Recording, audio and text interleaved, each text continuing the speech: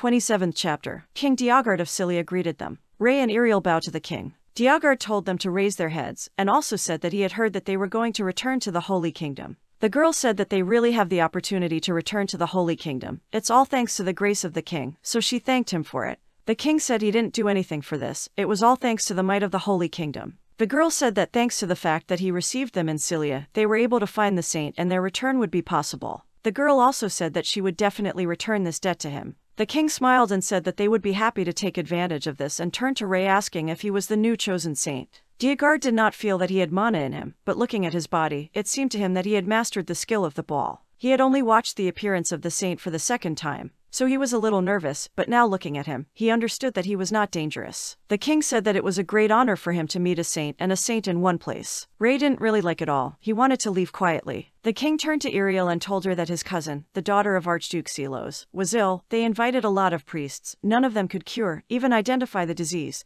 so he asked to look at this child once. Ray got a little angry and said that they didn't have any time for this because they still had a long way to go, but the girl agreed, saying that she couldn't refuse his majesty's request. The king was delighted, because now he has no reason to worry, the saints will take care of his cousin and thanked Iriel. Ray is very indignant and asked why it was impossible to go to the Holy Kingdom right away. The girl told him that he doesn't understand anything. It's all because now he is also an employee of the Holy Kingdom, and if he learns to handle the divine power just by watching over her, it will be a big breakthrough of the world. Ray said that now they would spend a lot more time, because first they came to the Duke's estate and only then they would go to the Holy Kingdom. But soon resigned himself to this and said that since they were the only ones who could help, they should hurry up, because he would go anywhere if there was a patient there who needs his help, because that is the duty of a doctor. They left the manor and went to the subjects of Iriel. The man approached the girl and said that it would not be easy. They had already reported to the Holy Kingdom about their return. Preparations for the ceremony and the appointment of a new saint were in full swing, so there could be no question that they were going to the Archduke. The girl said that it was the request of the King of Cilia himself and she had no right to refuse him.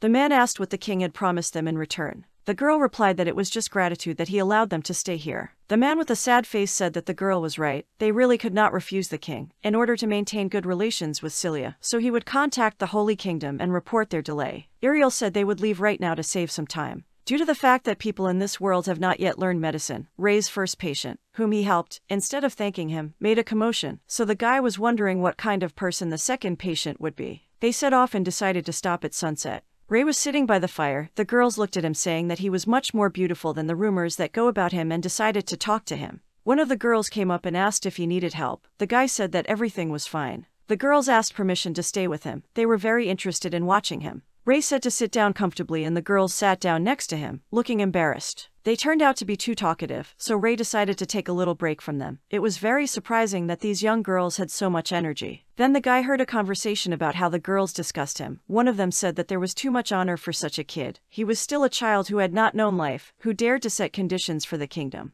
Another girl said that Ray was with the elves that dared to raise a hand to their saint and they can't forget about it. Ray stood behind a tree and listened to the mud being poured on him behind his back. The girl went on to say that upon arrival from this kingdom, it would reach all people that he was not a saint at all, but just a dummy. After that, an enraged Ariel approached, asking to repeat once again what the girls had just said. She put a lot of pressure on everyone asking for what purpose they discussed her, and the saint and how they ended up in their dialogue. After which she decided to take what she heard for the truth. The frightened man said that it was just a misunderstanding the girls were too young and stupid and did not understand what they were saying. So they probably wanted to say something completely different, and then started shouting for everyone to apologize to the saint. Iriel was too angry at them and said that an apology would not be enough, because they dared to make fun of the saint just because he was still young. And also called him a dummy, the girl said that she would not let them get away with it. Because the saint was chosen by God himself, insulting the saint means insulting God's choice, so the date of the words were just blasphemy. 28th chapter. The girl apologized to Mrs. Iriel, admitting her guilt that they had no right to discuss the saint. Iriel shouted that they were not apologizing well enough, because they decided to doubt the chosen one of God, and now they can't even apologize properly. She whispered that there were people in the world who would like to apologize, but for them it was not permissible.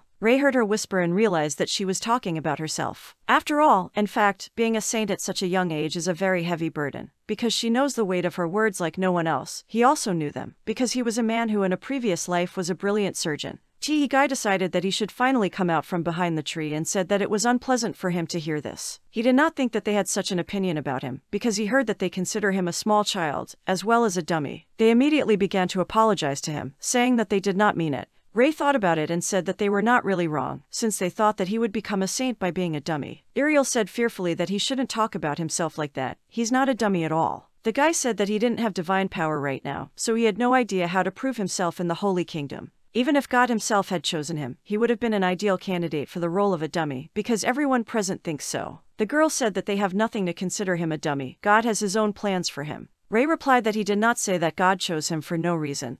He was sure that there would be many people in the Holy Kingdom who would think the same way, and in this case, he would remain a dummy for everyone. Then Ray said that he wanted punishment for these people, and they continued to beg him to forgive them. He looked around and thought that there were other guys here who looked down on him, mistaking him for a dummy, as well as a small child, or thought that he was not qualified enough for this, so they might have been right in some way. They called him young because he had not gained enough confidence in himself, he had no power, abilities, connections, or reputation. However, after a couple of years that he will spend in the Holy Kingdom, he will prove to them that they are deeply mistaken about him. He will make everyone who looked down on him and despised him regret what he said. Anyone who dared to offend him will then pray that he forgives him. Ray will leave them as witnesses to the promise made to them and will not punish them. But people continued to ask for forgiveness and repented of what they had done. The guy hoped that soon the day would come when they would regret even more than now. As long as he is on the territory of the kingdom and does not achieve his goal, he will do everything to raise the honor of the Holy Kingdom even higher. Ray didn't know how long it would take, however, he would do everything to make them regret today. Everyone stood and looked at how the guy was standing under the bright moon that illuminated his whole body,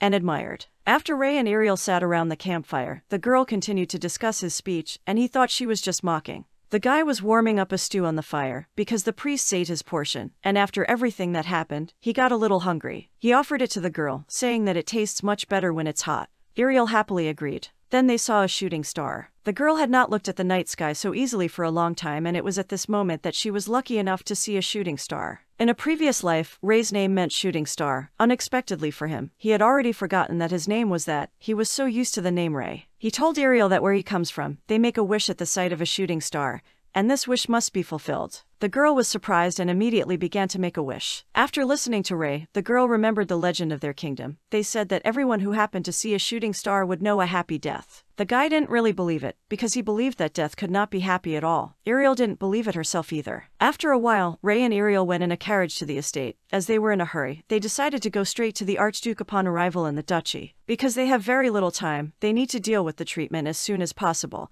and return to the Holy Kingdom. If they stay late, they will have problems. They arrived at the place. Archduke Silos said that when he learned about their arrival, he was very excited, but at the same time happy that they had come such a long way, for the sake of his daughter. Iriel said that it was all by the will of God, for the sake of the suffering. They came to grant her grace, because it is the duty of the saints, so do not worry about it. Silo apologized for the rush, but asked them to help his daughter as soon as possible, because for him her existence is a gift, and he cannot watch his precious child suffer. The girl said they would go to his daughter right away. Silos was very grateful and said he would do everything for them if they cured his daughter. Ray watched the dialogue and realized that the Archduke had a lot of faith in Ariel, even though she hadn't done anything yet. But he realized that it was all because, being a saint, she has divine power, and is a great person. The maid led the saints to Layla's room. What Ray and Ariel saw shocked them. They didn't know what it was. 29th chapter. Ray looked at the girl sitting up in bed. Part of her body was covered with red spots. He decided that these were erythematous papules, believing that this was a case of herpetiform dermatitis. The guy was thinking that the girl should have been treated even earlier so that she would not get into such a state.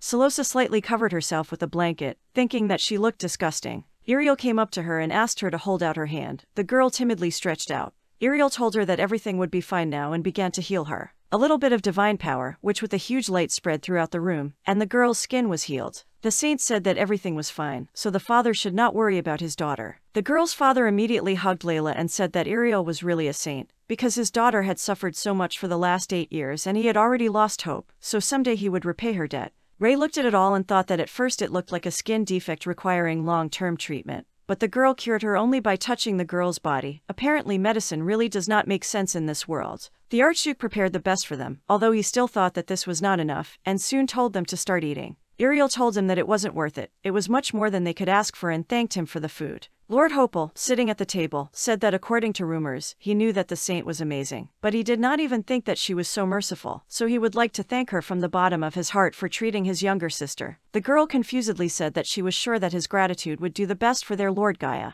Ray sat silently at the table and listened. The Archduke turned to the guy and said that he considered him very laconic, so he asked maybe he didn't like the food. Ray said that the food was just wonderful, but he was silent because he was just thinking about something, after he apologized for making him worry. Iriel turned to the man and said that the saint has a lot of thoughts bothering him, so you should not worry about this. Iriel turned to Ray and asked what was going on. The guy replied that he was just tired. The girl said that they had agreed to stay overnight at the castle, so he could rest. Ray didn't understand why he shed so much blood and tears to become a doctor, even though he had memories of his former life. In this world, they were all completely useless. He really needed to forget about his past called Park Yusong and start living like Ray. He was in his room, Ariel knocked on his door and asked if he was sleeping, saying that he did not understand what was wrong with him but asked him not to stop believing in himself. She understands that there are times when everyone doubts themselves and hope that what is bothering him will not destroy what he has created, and also said that instead of worrying and exhausting himself like now, he should know that his usual prickly but funny side suits him much more. The guy sat down on the bed and thought about her words, as well as whether he was really Ray, because he was still a former doctor of Park Yusong, so he decided to just find something that only he was strong in.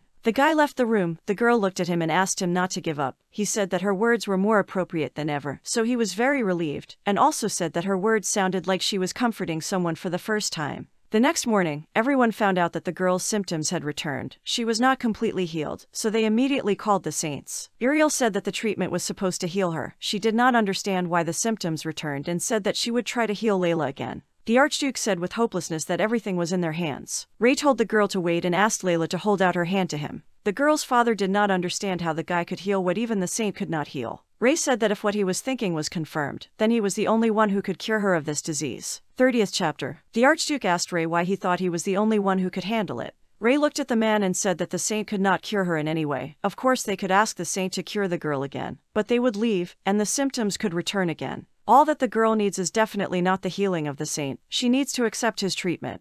The man said that he had heard that the guy had no strength and asked what he was going to do. Ray replied that his treatment does not require healing powers. He uses all the information he knows to get rid of this disease. He will do how he gets rid of diseases. The girl told her father that if they don't trust the guy, they are unlikely to be able to do something on their own. Because they have already tried, so they have no other choice. The man supported his daughter's words and trusted Ray. The guy promised to cure this young lady. From the next day, he began to look for the cause of this skin condition. The first was hygiene, as this is the most basic point of health, so he tried to test this option. But seeing how the servants wash blankets and clothes at least once a day, he decided to rule out poor hygiene as the reason. Given that the castle was protected by a magical barrier, it was unlikely that a parasite from outside caused this disease. However, he noticed one problem that arose because of her diet.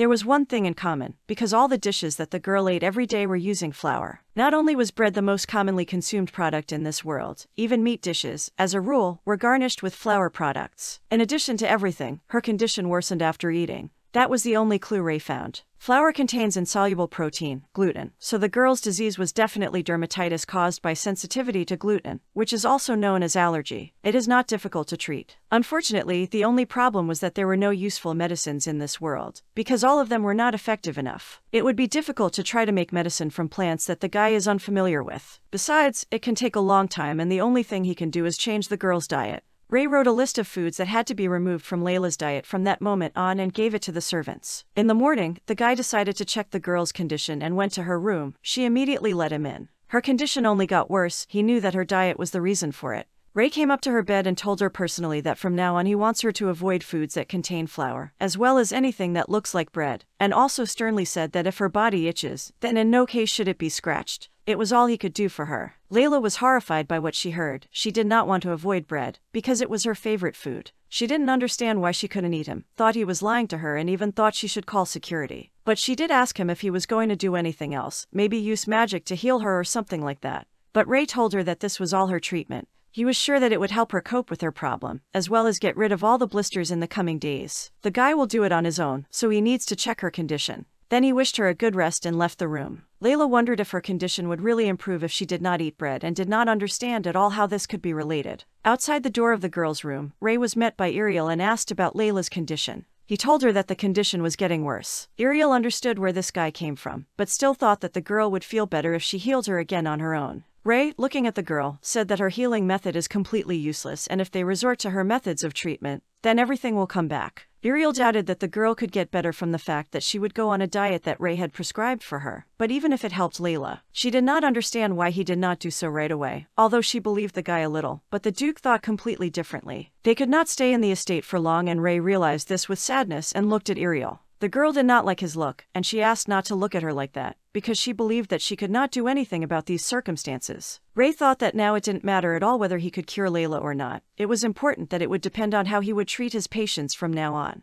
Therefore, I asked only one week from Uriel and said that I was absolutely sure that during this time the girl would be able to fully recover. The next day, Layla's scream could be heard all over the estate. 31st chapter. Ray tried to get the girl to drink water. She refused to do it with terrible screams. The guy told her that she hadn't even drunk the amount she should have. She needed to drink 3 liters a day, a total of 21 liters a week. This is the amount of water she needs to drink. The girl started crying and shouting that she did not want to do this, and also did not understand how water could cure her, because it was not even holy water, so she did not see the point in such a large amount. The guy told her that water helps to cure allergies, so he asked her to trust him and drink a glass of water, because when foreign substances enter the body, a chemical created by the immune system called histamine is created. It is produced in response to protecting the body from foreign substances that enter the body, and in people with allergies, the chemical is produced in excess and can cause terrible consequences. When this happens, drinking enough water allows the body's cells to work properly. It can also reduce the effects of an allergic reaction. Therefore, this is the best way to treat. Therefore, Ray began to give the girl water on his own, pouring it into her mouth. The girl did not like it at all, and she did not understand what kind of saint he was, that he was doing this to her, considering him just a madman who came out with the face. And so four days passed. After Ray put her on a diet and forced her to drink a lot of water, the girl began to hate him. However, Layla decided to trust him, because she had no other choice. As a result, her skin really healed. She was on the men with incredible speed. The girl really got better after she drank a lot of water and stopped eating flour. She couldn't believe it herself. But Ray still understood that she was not completely cured and told her that they should continue treatment. Layla, seeing that it works without hesitation, agreed. Even though Ray was worried that people in this world would react differently than in his world, it seemed to him that he was worrying about it in vain. It was only a matter of time now, because when she was cured, everything should be fine. But he didn't think so for a long time, because on the sixth day they faced a huge problem. The girl beat the dishes with food and demanded bread. She started experiencing withdrawal syndrome. In this world, flour was the main product of the diet. For Ray, it was quite expected that the girl would break down and run for flour products. However, if she still uses flour products without completing the treatment, all the efforts of the guy will be in vain. To distract her, the guy needed to help her focus on something else and then she wouldn't think about bread. Ray decided to come up with a game and began to carve a chess piece with magic. Uriel watched this process, she was very interested in what he was doing. The guy gave her a look at the figure and asked what comes to her mind when she sees it. The girl began to look at it, saying that it reminded her of a castle, a holy kingdom, and it also looked like a crown. Ray decided that it worked and told her to follow him. And he ran to Layla and called Lord Hopel. He decided to show them that he could cope with Layla's withdrawal syndrome, saying that he would need help. He sat everyone down at the table and showed a board with figures, calling it chess and began to explain that each of them has his own army. The rules of the game were simple. All they had to do was capture the opponent's king by moving their pieces, and the one who would be the best to manage the troops would win. However, he also said that there are rules regarding how each of the pieces can move. He took the king in his hands and showed everyone saying that he can move only one field, like a true ruler, reducing his movements to a minimum. On the other hand, there is a queen opposite to the king. As long as she is not captured, the king can move as much as he wants. Ray said that in the same way each of the figures has its own rules and began to talk about everything. Lord was very interested in this game, because there were many variations of moves in it. He also considered it a rather complex system that would be useful in real military training. Layla was also interested and was sure that her father would like it too. Ray invited Ariel and Layla to play a game and sat them down at the table. Uriel gave the girl the first move. The guy really liked the fact that they were interested in the game and while the girl is involved in the game, she will be able to distract herself from addiction. The girls were playing a new game very enthusiastically. Ariel asked Layla to just give up because she considered herself a great player. In the end, the girl lost and Hopel asked the saint to let him fight with her. The girl decided that he wanted to avenge his sister, but said that she would accept any challenge and gave him the first move, saying that everyone would kneel before the might of the Holy Kingdom. At first, everything seemed even better than Ray had imagined. Uriel and Hopel started their game. The guy was not going to lose just like that and wanted to show the girl the power of their duchy. Up to this point, Ray thought it would be a good way to distract the girl from thoughts about flour food. However, an unexpected change of events occurred. Hopel immediately showed the game to Duke Silos, saying that it was a complex and ideal game in which one could evaluate one's strategic capabilities as a military commander and believed that since Ray had created such an ideal game, he was actually sent by God himself. After the Duke plunged into the game, the situation took on a strange current. The week they had agreed on was over, but no one said a word about it. Everyone around played chess and even made figures on their own. Chess was originally intended as a game that would help Layla distract herself and finish her treatment. But this game was able to capture the entire castle of Silos. 32nd chapter. The Duke called the saints to him. Thanks to Ray, Layla's condition improved in just one week. It was quite a short time. Besides, he created a game called chess. The man could not believe that he was able to do such a thing at such a young age. He told the saints that Layla's condition had improved noticeably and thanked them for what they had done, because it was painful for him, as a father, to look at his daughter's condition, and also asked to be allowed to thank them for being able to free her from suffering. Uriel said that this time she did nothing and only the saint and his methods of treatment should be thanked. The Duke told the girl not to belittle herself, but at the same time he agreed that the saint had done a great job. So, as a sign of gratitude for his help, he gave him a ring that was given to the rulers of their territory when they saved the dwarves. Ray was shocked that the Duke was ready to give him their family heirloom as a token of gratitude, because he would never be able to accept something so precious, but at the same time, deep down, he was insanely happy about it. The guy didn't want to accept the gift until the last moment, but the man insisted very much, so Ray put on a ring that surprisingly fit him. The Duke was sure that the dwarves would be very happy to learn that this ring had come to the saint. The guy thanked him for such a precious gift, although he thought that he would not be able to accept it so easily anyway. The Duke had heard that they were heading to the Holy Kingdom tomorrow, so he asked to be allowed to sponsor their trip and make it as comfortable as possible, since the road would be long. They definitely needed to rest before setting off, so he created comfortable conditions for them in gratitude for all their efforts. Night came. Ray was glad that everything worked out in the end, but he thought that the Archduke was too generous. He didn't really believe that he just wanted to thank them. There was a knock on the door, but they weren't expecting anyone, so they were wondering who it could be at such a late time. It was Mr. Hopel and Lady Layla. They heard that the saints were leaving, so they decided to come in. Hopel didn't even think about the fact that they could meet a saint and a saint who were mentioned only in books. They helped with his sister's illness, and created the game of chess, so he wanted to thank them for everything they did. Uriel was also glad that she met them. She was sorry that they could not stay with them for a long time, because great things were waiting for them ahead. Hopel invited them to a night picnic. There was a castle in the backyard, where there was an incredibly beautiful view of the night sky, so it would be unforgettable. Ray was delighted and said it sounded very interesting, so they agreed. Hopel and his sister went to prepare everything. Uriel laughed and said that it looked like a farewell party for them and she thought it was very nice of them. All she did was work for the good of the Holy Kingdom by scaring away the people around her, so she never had the opportunity to experience something like this. She thought that maybe she hadn't noticed how the world had changed. She had never felt such feelings before. When Ray first met Ariel, she was cold and went to her goal, while being incredibly cruel. But now the old Ariel was no longer there. She believed that the world had changed, but in fact she herself had changed. She had become different. They went to the backyard, where they were already waiting. Hopel said that this picnic might be a little modest, but they didn't need a big table, because the most important thing was the time spent together. Ray turned to Layla and said that when he left, she would also have to avoid flour products if she disobeyed. TE disease would return to her, because since her body reacts to chemicals, flour products were like poison for her. So it is very difficult to cure this disease. But if she if he can hold out like this for five years, then by that time the disease can completely recede. The girl was just terrified. She believed that she was cured and she was scared that she would not be able to eat flour products for so long.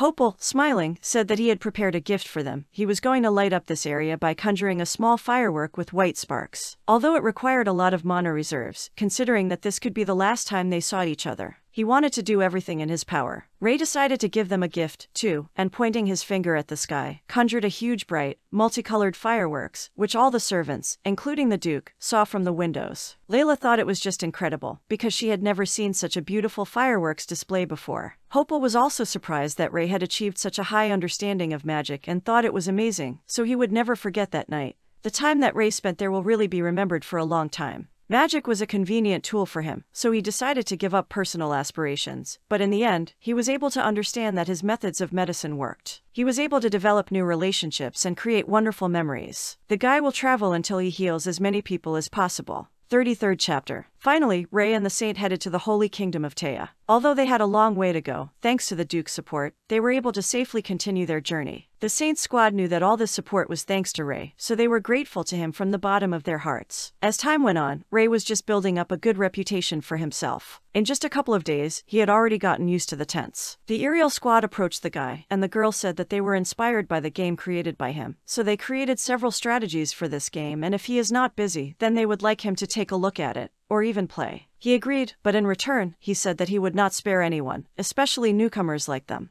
They were a little scared and felt a bad feeling. It was the beginning of a team chess tournament. Since no one knew that Ray had participated in the World Chess Tournament in the past, all seven players lost to him in four moves. That's how he set a record of victories without defeats, and the accompanying squad changed their opinion about him, admiring that he was invincible. And so another day passed on the way to the Holy Kingdom. One day Ray had the feeling that they had moved from their place, deciding that it was because they had come such a long way. Iriel had told him that once they left this neighborhood, the Holy Empire would be just around the corner. The ground began to shake underfoot, a crowd of orcs appeared on the way, everyone took up positions and prepared for battle. Ray, seeing that everyone was fighting monsters, thought that they should be helped. Because this way they would be able to set off faster, but Iriel was sure that the warriors themselves should easily cope, and if they came out, then everyone would have to change their positions to protect them, so this would only cause discussion and just cause more harm. One of the orcs picked up a huge stone and threw it at the squad. The commander of the forward squad, Hirio, did not expect that a simple ogre could be so strong and told the middle squad to reorganize to protect the saint,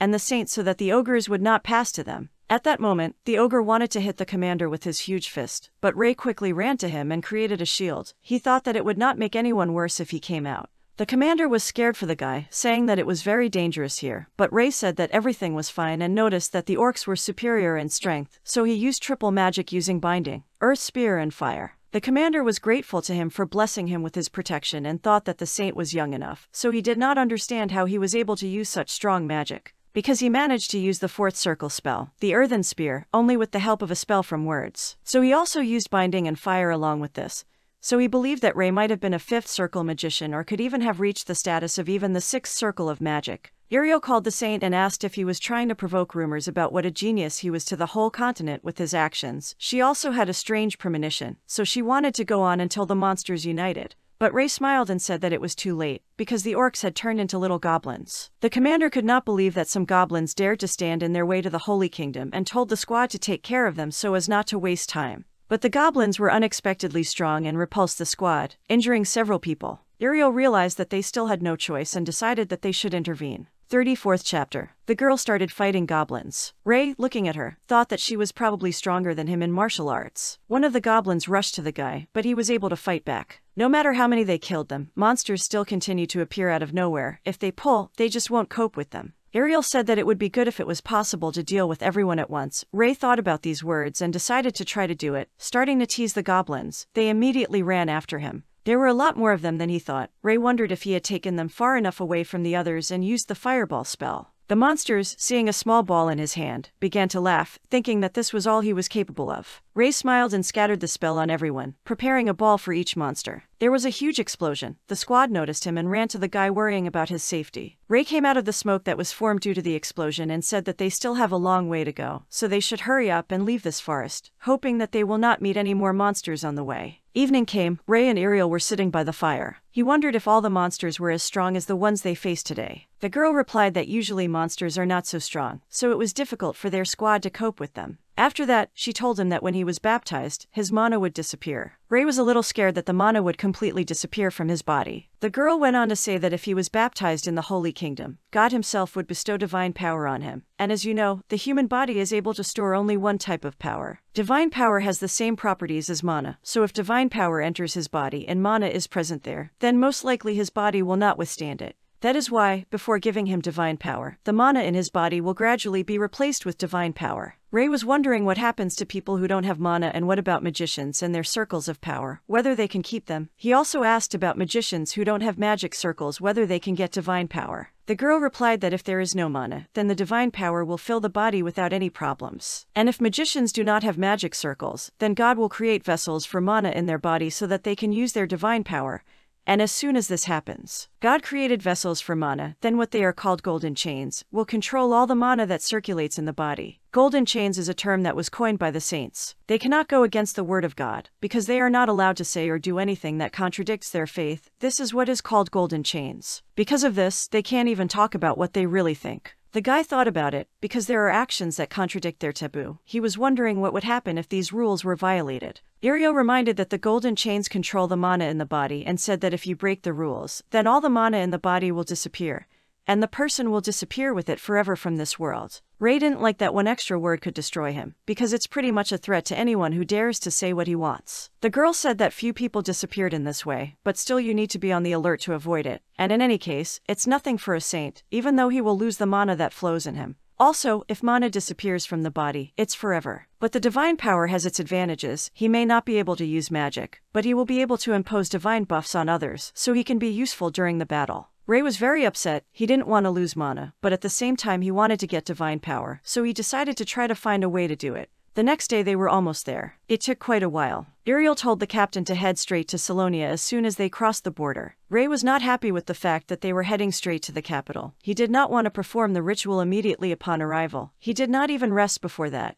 Iriel smiled and said that they were not going to hold the baptism immediately upon arrival, because this ceremony is a very important event that everyone celebrates. She also said that he still does not know anything about the Holy Kingdom. So he will have to get as much knowledge as possible before the ritual and said that she would teach him everything she needed on her own it is known. 35th chapter. They arrived at the place. No matter how much Ray looked at the mansion, he thought it was simply magnificent. It was a completely different level compared to the Silos mansion. Iriel led him to the estate where all the saints live. It was a sacred place. Even priests need to get permission to enter. Even the people working inside were specially selected and had a status. She said that he needed to complete the training she had mentioned earlier within two days, and also reminded him that she would be his teacher. Ray didn't like it, and he wondered why the head of the mansion, who was supposed to be engaged in his training, suddenly became busy. A maid came up to them and greeted the saint. He immediately liked her charisma. She said she would take him to his chambers, so he needed to follow her. Ray, looking at the girl, recalled the words of Iriel, thinking that she should have some kind of status, because she did not look like an ordinary person. The girl brought him just into a magnificent room, which he really liked, told the guy to rest, and left him. Ray really liked this wonderful conversion. It amazed him.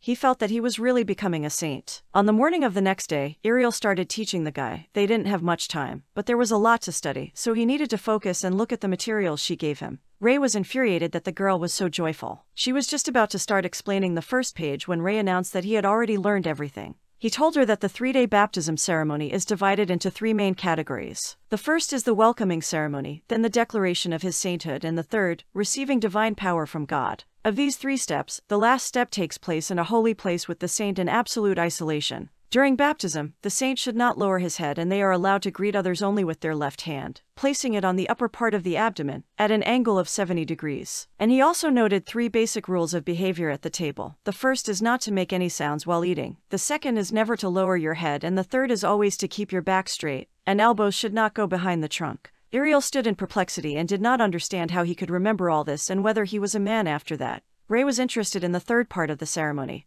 He did not know what he would need to do. Because the materials did not say anything about it, the only thing he knew was that he owed his sincerity to God. So he asked Iriel to tell him about how she behaved during this. She said that she did absolutely nothing for this, only ate and slept all week, and after that, mana vessels appeared in her body and she felt divine power flowing through her body. She also said that despite the fact that he had learned everything, his manners left much to be desired. Because even if his memory was beyond human understanding, he could not learn the customs in any way, and memorizing everything and showing himself in action were completely different things. After that, she said it was time to have a snack, and at that time she would personally test his skills in action. Ray sat straight at the table holding a fork in his left hand, a knife in his right, and cut off a piece of steak. The girl looked at him in shock and realized that he was doing well, because she thought it would be completely different. But she still said that he still had a lot of things to work on, so she told him to put the appliances down. Ray put a piece of steak in his mouth anyway and said she was being too hard on him. Iriel yelled at him, saying that you can't talk with your mouth full, because annoying nobles will find fault with everything he does, so she will keep an eye on him during the entire training so that no one shames him later. The guy was extremely unhappy and wanted to send her to rest, but she said that she could not rest while he was in such a predicament, so she would have to stay here and live. A maid came up and turned to the saint, saying that the saint should not live in a mansion assigned to a newly minted saint because it could attract a lot of attention and lead to rumors about them. She apologized for her rudeness, but asked them to understand that she just shared her thoughts to avoid trouble. Iriel looked at the girl and asked what her name was. She introduced herself as Bella Croissy Eucliwood.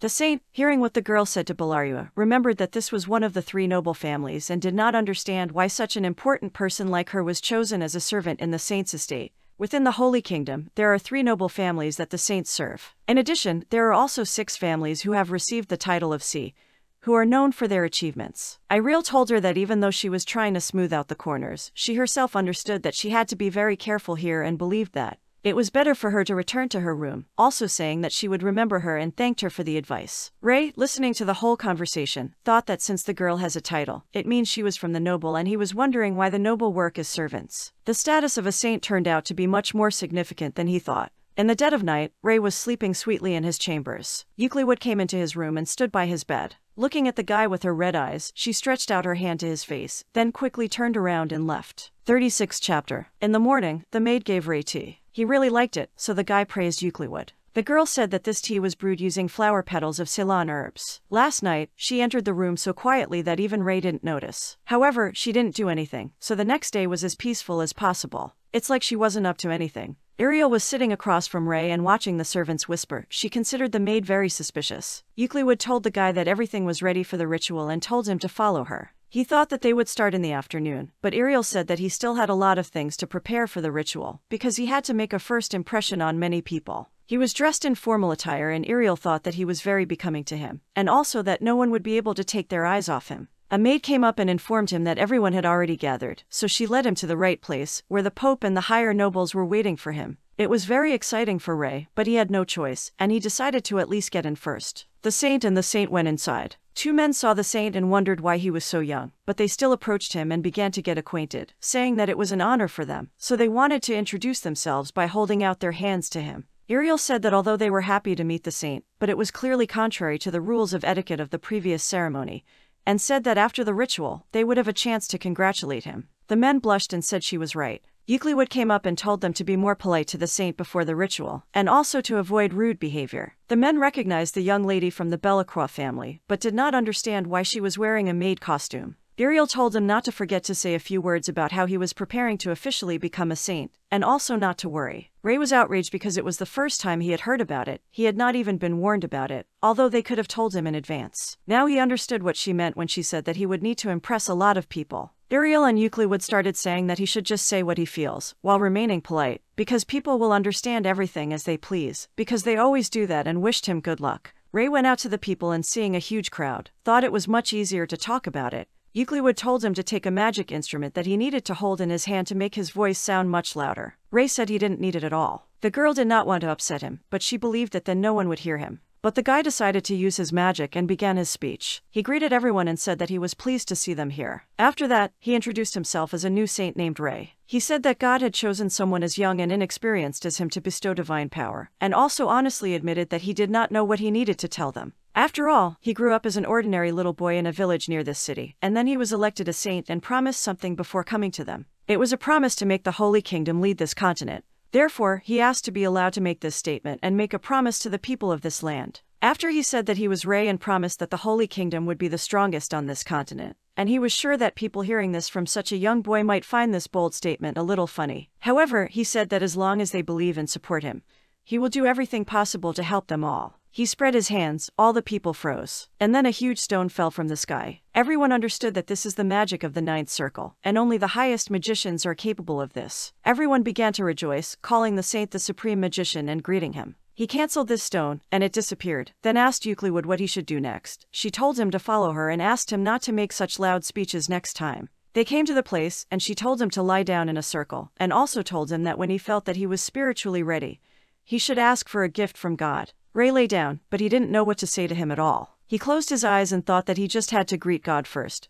But when he didn't hear anything in response, he just started calling him. Then he abruptly opened his eyes. It was already evening. As it turned out, he suddenly fell asleep, and the so called God did not even appear. His back ached from lying on a hard surface after spending the last couple of days in a good bed. He looked around and saw Euclid, who apparently stood like that all the time while he was lying down. He thought that the girl was probably tired, so he decided to get up for her sake and not at all because his back hurt. The girl asked him if God had answered his questions. Ray decided to pretend that everything went as it should and said that the voice of God would not leave his mind in any way. Euclid thought it was quite impressive, because even Lady Ariel took a whole day and said that he really was a saint. Ray wondered if he should tell her the truth, but he didn't. Unknown people stood and discussed that the appearance of a new saint would change all their plans. Their enemy was the Holy Kingdom and they should be careful when choosing the right moment. However, when the time comes, they will have to make sure that the Holy Kingdom falls. At any cost. 37th chapter. People were discussing the fact that Ray had already completed the ritual and it was very impressive to them. The ceremony was about to begin. The Marquis of Hellord personally insisted on this. Meanwhile, Marquis Hellord called his eldest son Barit and said that the Archmage is a saint who can summon meteorites, so he should lure him to his side, because this is their chance. They have lost a saint, so they must gain the favor of a new saint, and they must also strengthen their family's influence on the Holy Kingdom.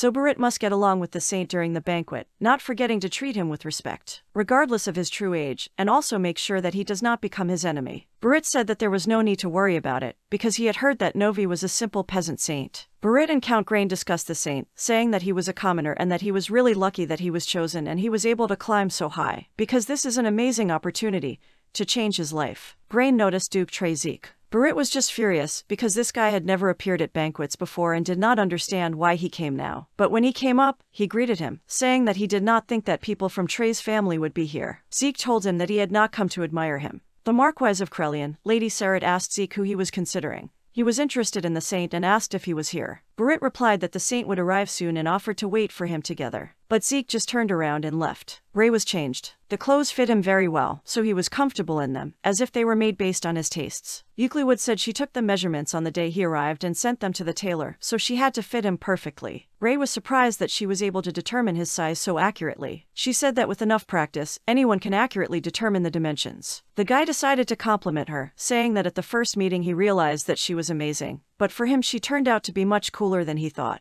But the girl again did not react in any way, like a car, saying that she would take him to the banquet hall. Grain said he came later than he expected. Sarat thought that the guy needed time to dress up. Barit asked Grain if he had heard about what happened during the ritual and said that the new saint had inspired everyone with his speech, but still he considered him nothing more than a commoner. The arrival of the saint was announced. Everyone looked at him, some imagined him differently.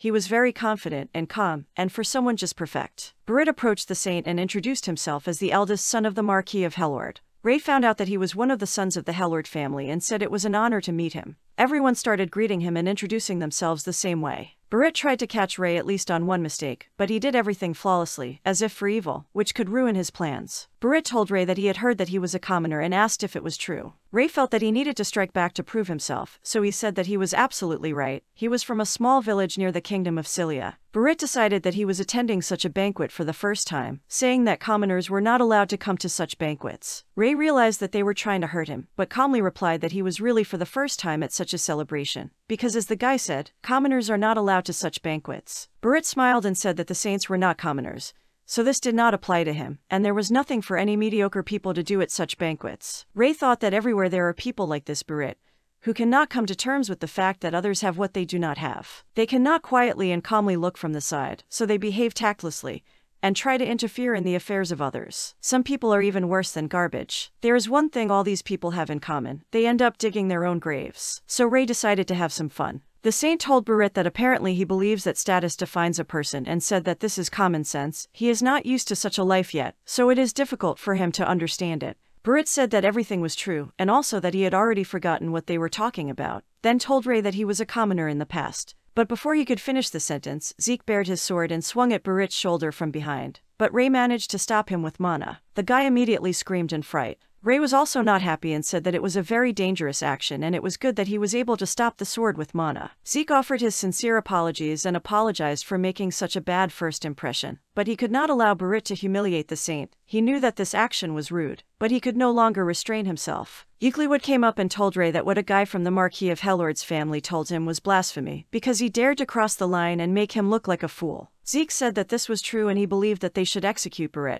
thereby punishing the family accordingly, and this could serve as an example for everyone. Barit was horrified by what he heard. Ray thought about it and said to call the Marquis of Hellord. Euclid said she would call him right away, but Ariel said there was no need, because the Marquis was sitting and saw everything from the second floor. Florid immediately attacked his son, scolding him for what he had done, because he told him to behave with respect, and he disobeyed and treated the saint badly. 38th chapter. The Marquis, kneeling before the saint, offered his deepest apologies, saying that it was all because he had brought up his son badly and asked very much to forgive him for this rudeness. Euclid and Zeke, standing behind Ray, talked about how the guy needed to be properly punished. But the saint turned to Hellord and asked what punishment in such a situation could suit his son. The Marquis began to talk about how his son Barit lost his mother at a very young age. He had to raise him as a good father. Because he did not want him to have the kind of life he has, he wanted him to have a good life without flaws. This is a promise he made to himself. After he asked Ray to forgive his son for his unreasonable actions, he is even ready to give up his title and donate his fortune to the temple. Ray thought about the fact that the man was going to give up his title because of his son. And after all, if the sources of the water are clean, then the stream will be clean. He would have punished the Marquis of Haylord if he was the same as his son,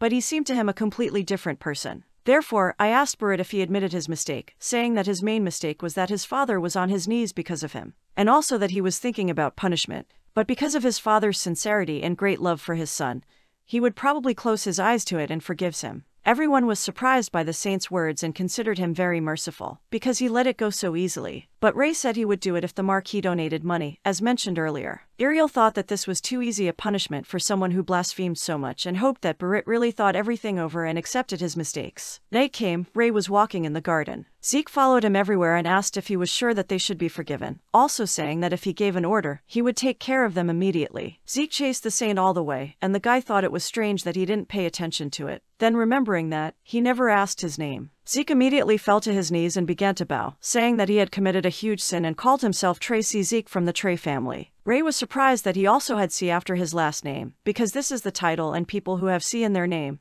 three families who serve saints. But he did not understand why this was so important to many people. He did not think that three families should serve him, because it even sounds funny. Euclid said that this is a tradition from ancient times that no one breaks. Zeke asked him not to feel burdened because of this, because this is only the will of God. He also said that if he thinks that three families are too much for him, then he asked him to choose one, because he is ready to do everything in his power. Ray looked at Euclid and Zeke and asked what about the third family, because there were only two of them. Euclid said that the remaining family ensures his safety from the shadows and their real identity is not even known to the Holy Kingdom, and they also do not know who they are. But in any case, they know that they are always there to protect the saint. The saint heard a rustle and raised his head up when he saw that someone was sitting on a tree. The girl was right, they were actually nearby, and now that Ray knew about it, he could feel their mana and determine where they were, counting seven nearby. The girl who was sitting on the tree realized that the holy magician and she was very impressed. In the morning, Euclid stood in the corridor and recalled her childhood, how her father prepared her to protect the saint. She fell and was injured, but they told her that if she did not try hard enough, she could not bear the name Belacroix.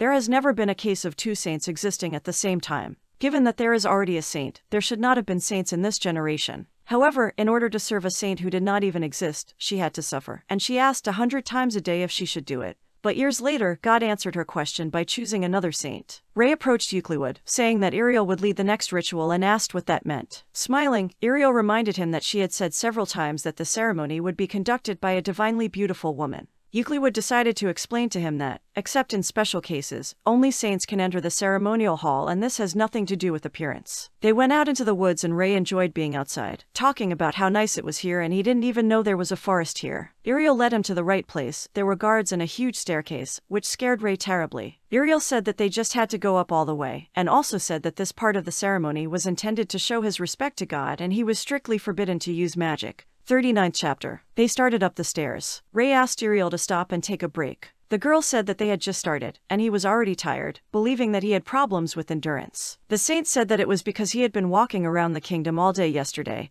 and if he could only use magic there would be no problems. She said that from now on he should not use magic at any ceremony. This is also unacceptable. After all, he has to go all the way by himself following the stars, and he will be able to get there. Then I decided to repeat once again that he should not use magic and was sure that he would cope. After a while, Ray looked back and realized that he had come very far and could not give up. Finally, he was able to get to the very top. It took much longer than he expected. He looked ahead and saw a house in front of him, although he thought that there would be a completely empty area, but he was glad that this was not the case. Going into the house, the guy thought that he was going to spend a week here, and Ariel also said that he needed to show respect to God, but he didn't even know what he needed to do. Ray was very happy because he considered it a kind of vacation deciding to rest here a lot, also believing that the week would pass quickly. Only then did he not know about the trials that awaited him and the harsh reality that he had to face during his stay here. The guy walked around the house and picked apples, promising himself not to use mana, and do everything with his own hands. But he had no idea how he could survive here and did not understand why no one told him anything about it, thinking that his suffering was not enough for them.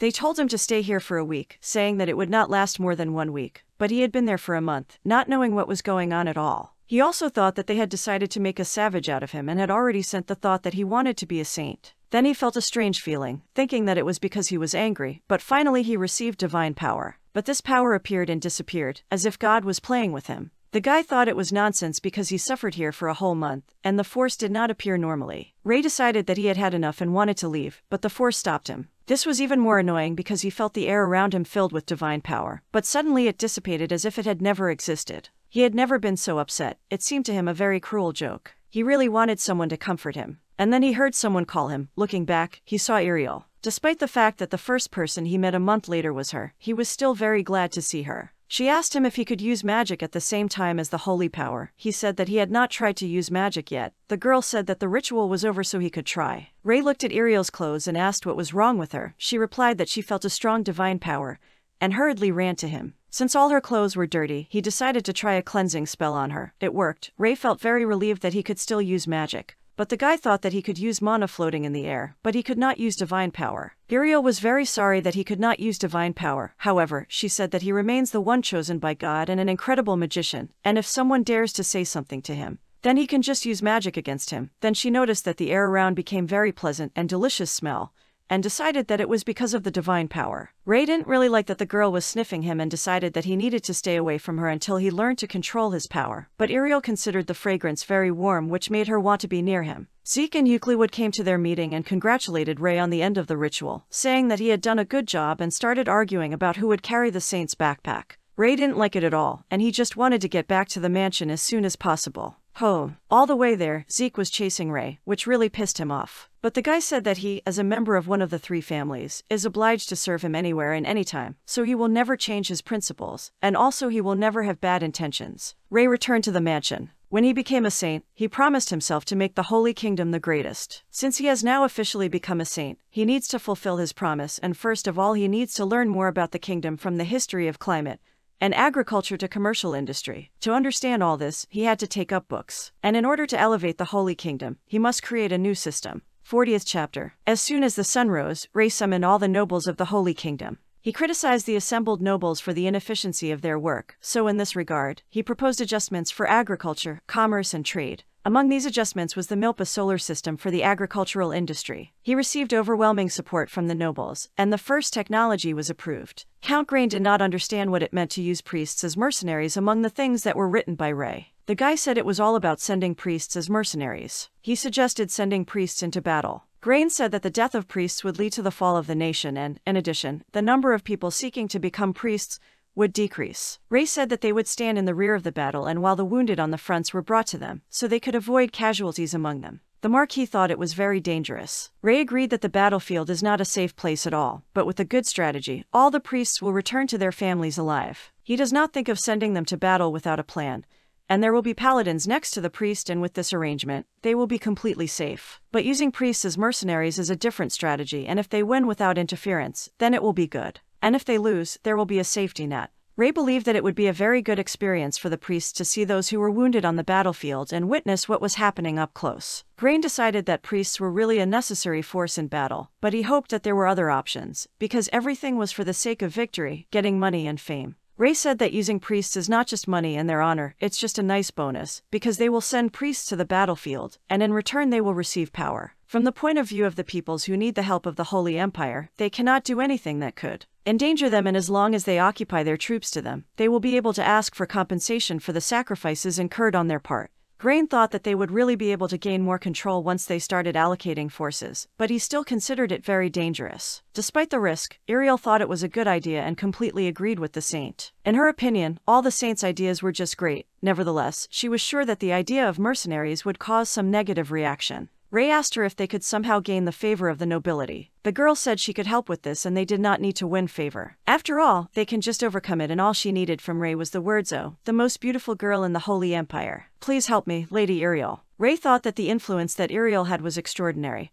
He thought it would not be an exaggeration to say that all the high-ranking nobles were supporters of Iriel. And if she helps him in this situation, it will be difficult for everyone to object. It was the best way out, since he had no other ideas. The saint made a speech to the people again, asking the people if they had any ideas regarding the promotion of the Holy Kingdom. People thought his ideas were very good and agreed with him completely. The Holy Empire slowly improved its fields of activity. It was difficult to completely change the method of introducing agriculture, so they started with a small plot of land for the sake of experiment. Also, the public was not against the use of priests as mercenaries. And after they received consent from the priests themselves, many asked them for help from hired priests. Thanks to this, the Holy Kingdom has raised a lot of funds. And as a result, his ideas related to rural activities and commerce allowed the Holy Kingdom to rise. Despite the fact that everything is going more or less in order now, they will still need specialists for various fields. This will be a difficult task. Ray needed time to think about everything carefully. Lady Eclat returned and decided to go to the library. To her surprise, there were too many people there, which was not there before. It's only been three months since she last appeared here, but during this time, so much has changed. The librarian said that the saint has been visiting the library for several days. Apparently, the girls fell in love with him, so they also began to visit the library. The girl was interested in this, so she decided to go to the guy. He was spending his time behind a mountain of books as usual. When she approached him, he did not know who she was and why she was addressing him. Eclat took one of the books and after examining the others realized that all the books were devoted to medicine, and did not believe that the guy could not read them all, much less understand something from them. But Ray calmly replied that he understood almost all of these books. The girl decided to play a game by asking the guy questions, in one of which she asked him to tell him how to treat a cut from a rusty knife. The saint replied to her that it was possible to prevent the symptoms of poisoning by using holy medicine, and then it would heal early. The girl said that the answer was correct, but asked if he agreed with it, to which the guy replied in denial, so she asked what he would do to cure the patient. Ray said that he would make an incision around the place of infection of the flesh, explaining that everyone thinks that cutting yourself from a rusty sword is tantamount to poisoning. But you can't say that because no one will be sent from a rusty sword but infection can penetrate around the place of the cut in the cage. So it's impossible to perfectly cure it using holy healing, so it will be better to remove the infected area around the cut and cure the area itself. The girl realized that she was losing in this game and asked about the cells that he mentioned. Ray forgot that people in this world don't know about cages yet. Yet the girl decided to move away from this issue by saying that cutting out the affected area, in her opinion, was too barbaric a method. But at the same time, she believed that this was the best way out of the situation. Then she said that she liked him and invited him to her laboratory, deciding that they could talk about everything there. After that, the girl apologized for forgetting to introduce herself and gave her name. When Ray heard her name, he was shocked because she manages priests and is the high priest. 41st chapter. Eclat says that despite the fact that she and Ray met for the first time, the girl had heard a lot about him. She says that if he needs help related to medicine, he should turn to her, although, to be completely honest, she does not understand why saints study useless medicine. However, judging by the huge amount of medical literature, the girl is also studying it. Suddenly, she lifts her hair from her forehead and says that she is studying medicine in order to help herself cure a long standing illness. Ray finds out that she has been sick since birth. The girl says that she does not feel pain, but she still cannot see. Then the hero offers to look at her eye a little closer. Looking at the eye, he realizes that it is a cataract. The hero also learns that Eclat sees better in the dark than in daylight. After learning about this, the hero is sure that it is a cataract, so he decides to tell the girl in more detail. The hero draws a diagram on the board and explains that he drew the pupil, and then the lens. When a girl looks somewhere, the lens focuses on the light, thereby allowing her to see better, but in her case, the lens is clouded. This disease is called cataract. The power of healing does not help cure this disease, because she was born with it already. Since the divine power eliminates disorders in the body and heals them, it does not accept congenital diseases as disorders. It is for this reason that she is unable to heal. From the point of view of other people, the fact that she sees only one eye is a violation. However, since she was born like this, the body does not understand that something is wrong. But in any case, the girl should clean her lens to cure cataracts. To clean it, you need to cut out the problem area. Then Eclat falls into a real horror, because Ray offers to cut out her eyes. Unfortunately, this is only part of the operational process. That is, it is necessary to first get rid of the clouded lens, and then replace the lens with something else, although it can simply be removed, because there is no artificial lens in this world. The hero thinks, because even if you get rid of cataracts, it makes no sense, because the girl will still not be able to restore her eyesight, Then Eclat says that you should not worry about her illness, because she is sure that a couple more years and the hero will find a way. Hearing this, Ray is outraged, because she wants to say that she will not be able to cope with this disease. He calls Eclat and tells her that he will definitely help her, which makes her laugh unbearably. Then the girl calls the hero to follow her, because she wants to show him something. They come to her lab. This laboratory was founded by the Holy Kingdom so that Eclat could study medicine. She lets Ray feel at home and take anything, because she's lonely here anyway, and that's the least she can do for someone who is interested in medicine. After that, Ray began to study eclat diseases. And a month later, holding the troll's blood, he argues that after contact with the air after a short period of time, the blood changes its consistency, becoming hard, like a piece of jelly. The blood of different monsters has its own characteristics, therefore, from a medical point of view, it can be useful to heroes. However, it is impossible to mix the blood of different monsters with each other due to the different composition, but there is one exception. Unlike other species, in the case of trolls, because of their great adaptability, they can be mixed with other blood, then Ray wonders if he can somehow check it. After a while, he will leave the laboratory, he collects useful herbs, but suddenly he meets an orc and a troll. Suddenly he notices that one of the monsters is alive, but bleeding. The orc survived a battle with a troll that is twice his size. Ray realizes that this is the perfect chance to test, so he decides to take advantage of the moment and save the orc. Suddenly, the orc regains consciousness and begins to move, then Ray uses stupor in a panic. He tells the monster to calm down, because he is not going to kill him, but on the contrary wants to save him. The monster lost a lot of blood, so he poured him some from the troll, but he woke up too quickly, so the hero did not have time to finish. Suddenly the hero sees that the blood has acquired a transparent shade. It turns out that she was cleansed, so the hero is sure that he will definitely succeed. 42nd chapter. The hero realizes that when he transferred the troll's blood into the orc, it became clean and pliable enough to use. He is surprised, because mixing the two types can lead to such a result. Therefore, with the help of such manipulation, he will finally be able to create an artificial lens and cure Eclat. He understands that now he needs to get as much orc and troll blood as possible, but where can he find so much? Eclat says that there is an abandoned village nearby, near the walls of the kingdom. She had heard that there were places nearby in the surrounding forests where both orcs and trolls were quite common. After a while, at night, the hero comes to this village and discovers ruins from the former village of Hedgel. He thinks that Eclat was exaggerating, but the village is really abandoned. Suddenly Ray notices two small children at the wreckage of a building. The hero approaches them and offers them a snack. He also says that everything is fine with this food and it is absolutely safe and not poisoned. The hero decides to help them by giving them a bag of silver and gold coins. He says that they should spend this money on the road to Salonia, and there they will be able to provide for themselves and find food. Then the boy asks why the young man is so kind to people he sees for the first time. Ray replies that he doesn't need a reason for this. After a while, the hero comes to a huge cave. It was a troll's cave. He says that you need to be extremely careful and try not to wake up the monster. He brings a syringe to the monster and says that he needs to steal something a little. Then he comes to the settlements of the orcs and asks them to do him a favor, which causes the wrath of the monsters. The hero stops the attacking orcs with the capture and suddenly notices a familiar comrade whom he recently saved. The hero asks to do something for him, and in return he pays for their services with the meat of the animals lying behind him.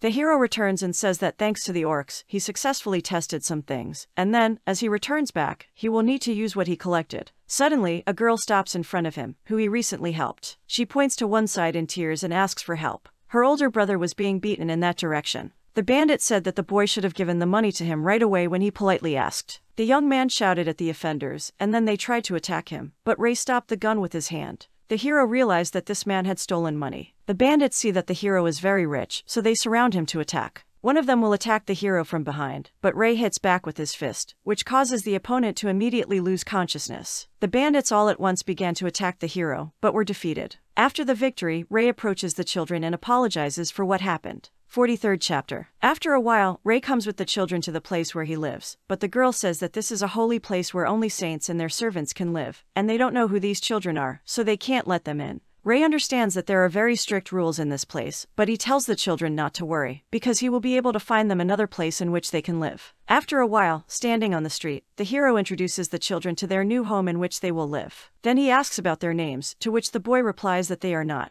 Then Ray comes up with names for them and says that the girl will be called Mary, and the boy, Chris. Suddenly the boy begins to cry, because he does not know what to say to this, because he is very grateful to the young man. Soon the hero continues to work on the medicine for Eclat. Finally, he completes his business. Eclat does not understand why the hero is still trying to cure her eye, because it is unlikely. The young man replies that he knows how to help her. He shows the girl a clear liquid and says that it is the blood of a troll, but mixed with the blood of an orc. As Eklat said, orcs are able to adapt to everything, unlike other species, although he found out about it by pure chance. But as long as the orc's body can accept blood, then in the process it becomes pure. Heroes can produce transparent blood so that it is pliable enough for manipulation. Now Ray needs Eklat to trust him. He shows what he has done and says that he needs to put it in her eye to further heal it. Eklat does not understand what Ray is trying to achieve, because earlier he said that he was going to cut out cataracts, but now he says that he is going to cure this disease with the blood of monsters. The hero replies that technically speaking, they cut out those parts of the lens that were affected, and then insert an artificial lens as a replacement for what was cut out. Ray understands that Eklat needs time to think, because she still could not even imagine that such a thing could be possible. Suddenly the hero bows his head, which causes a shock to the girl, because a saint should not do this. Ray says that he understands that it is difficult for her to trust him, because it all sounds unreal and impossible, but he asks the girl to trust him, because he will do everything possible to cure her eye. Eklat feels sincerity in every word of the hero. He is going to cure her eye and from his mouth it sounds convincing. In the end, she agrees, because this is the last hope for the cure of her illness, and if there is even a small chance of success, then she will seize on it. After a while, the operation begins. The hero uses mana to open the patient's eyelids, and then, making an incision in the lens, he removes the affected areas. After hitting the entire affected area, it is replaced with an artificial lens. Although the procedure itself is not complicated, but there is no professional equipment in this world. However, it is not difficult for Ray to do all this manually, because he is Shin Yu Song, who is called the Hands of God. After a while, Eklat comes to her senses and, looking out the window, begins to cry from the fact that she can finally see. At this time, a man runs to the saint and says that a large army has gathered on the border, which is moving towards the Holy Kingdom. But it seems that the army is not from any particular nation, because this army was called by a necromancer, and now a horde of undead is coming to the Holy Kingdom. First chapter. The story began in the walls of the university auditorium. Freshmen sat in the hall and listened attentively to the man on the stage. A man under the spotlight congratulated the guys on entering their university. The event looked very solemn. There was a deathly silence in the hall. Everyone listened attentively. The man's speech was very pathetic and mysterious. He praised the guys because they had to go through a very tough competition to get here. He called them important people who will be able to protect our society in the future. While the man was making his speech in front of a large audience, one of the girls was desperately trying to make it to the event. A sweet looking girl came into the classroom. When a man was talking about the conformity of the changing zeitgeist of their university, the girl froze in the doorway when she suddenly heard her name. Two men sitting nearby were whispering to her. Seo Yoon, as soon as she noticed the guys, immediately went to them. Sitting next to her, the girl asked if she was too late. One of the guys hurried to reassure her that everything was fine. The event had just begun. The other kid in the red hoodie clearly did not express any interest in everything that was happening. The man on the stage announced that next there would be a congratulatory speech by the vice president.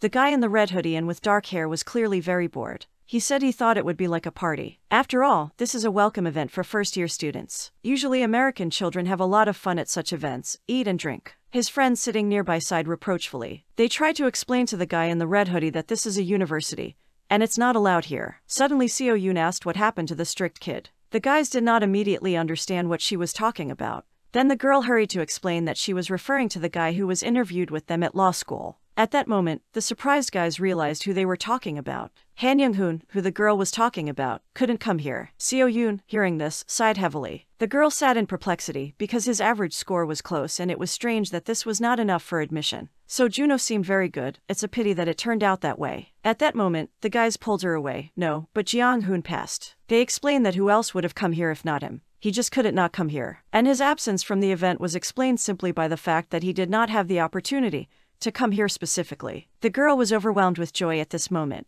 She began to behave impulsively, exclaiming, How is it? Why you didn't come here? It was clear from the girl's behavior that she liked him very much. She was sorry that he was not there, because there were a lot of explanations today. Although the guys agreed with her, they explained his absence with quite logical things. He was always repeating the same thing, so it was obvious he just didn't have any money. The guy was sitting on the floor, leaning on the bed, looking at the phone. He was clearly not in the best of spirits. Thoughts were spinning in his head, and he reflected that the whole situation was more like being forced to pay a fee for participating in just nothing. He sighed heavily and lowered the phone. Young Hoon understood that there are many different people in the world, many of whom are spending money, just completely wasteful. The guy thought that all people who spend more than 7,000 won a day are just dangerous. Young Hoon collapsed and collapsed face down on the bed. The guy was saddened, he suffered in turmoil. He lay there and wondered if he could pull this law school. Young Hoon clearly doubted his abilities, because this is the best Korean university. The guy understood that a legal exam was waiting for him after graduation. The next moment, the guy was lost in memories. He always realized that he was pretty smart, even though he was ashamed to admit it to himself. One day, when he was in class among his peers,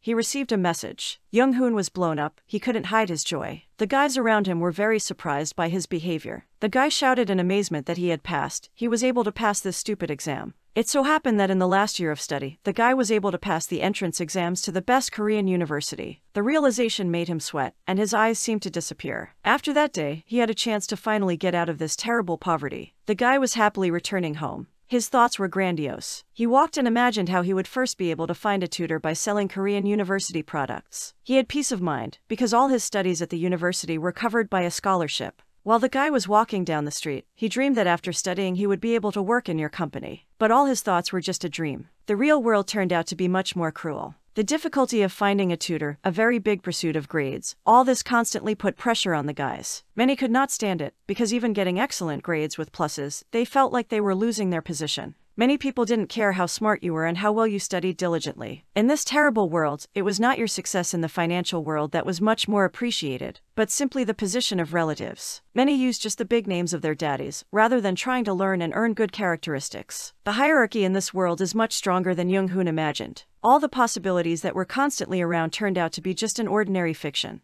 The guy felt like he was at the bottom of a dried up river. There were huge rocks all around him. But he was too determined, it didn't matter to him that every time someone tries to frame him. He knew that even in this case, he would still do his best to get out. When Young Hoon returned home, he had a difficult conversation with his father. His father was sitting across from him at the table. His tone was clearly not the most friendly. He did not understand what kind of law school it was. The guy tried to explain that it was like a law school. If he finishes his studies, he will be able to become a judge or prosecutor. Yes, even with the lawyer himself. The father continued to press and ask all sorts of questions. The guy explained that this school is the only way to a normal life. At the end of it, he will have to take a lawyer's exam which meant, subject to successful delivery, a great start into the future. The father thought for a few seconds and looked at his son carefully. He nodded approvingly and put the papers on the table with understanding. At the moment when the boy was finishing school, his father closed the supermarket, which he had run for 20 years, and returned to his hometown. The paper that was lying on the table was a certificate of all the deposits, benefits, pension funds that my father had accumulated over his entire life. The guy went berserk. He shouted that he didn't have to do all this. He understood that his father had sold everything in order to give this money to his son, because education is quite expensive these days. The guy jumped up from the table and tried to prove that the student loan system is pretty good these days, so he can take out a loan. He will simply say that it is for attending law school, and the bank will definitely approve. His father strictly stopped him. The tension in the room had reached its limit. The father sternly, looking at his son, tried to explain to him that in no case would he allow him to wallow in debt before he even joined society. Young Hoon looked at his father in confusion. After that, he hit the bed with his fist with rage. Waking up from the memory, he realized that there was no point in worrying about it now. The next second, he heard the vibration of the phone lying on the table. When he picked up the phone, he saw that his father was calling.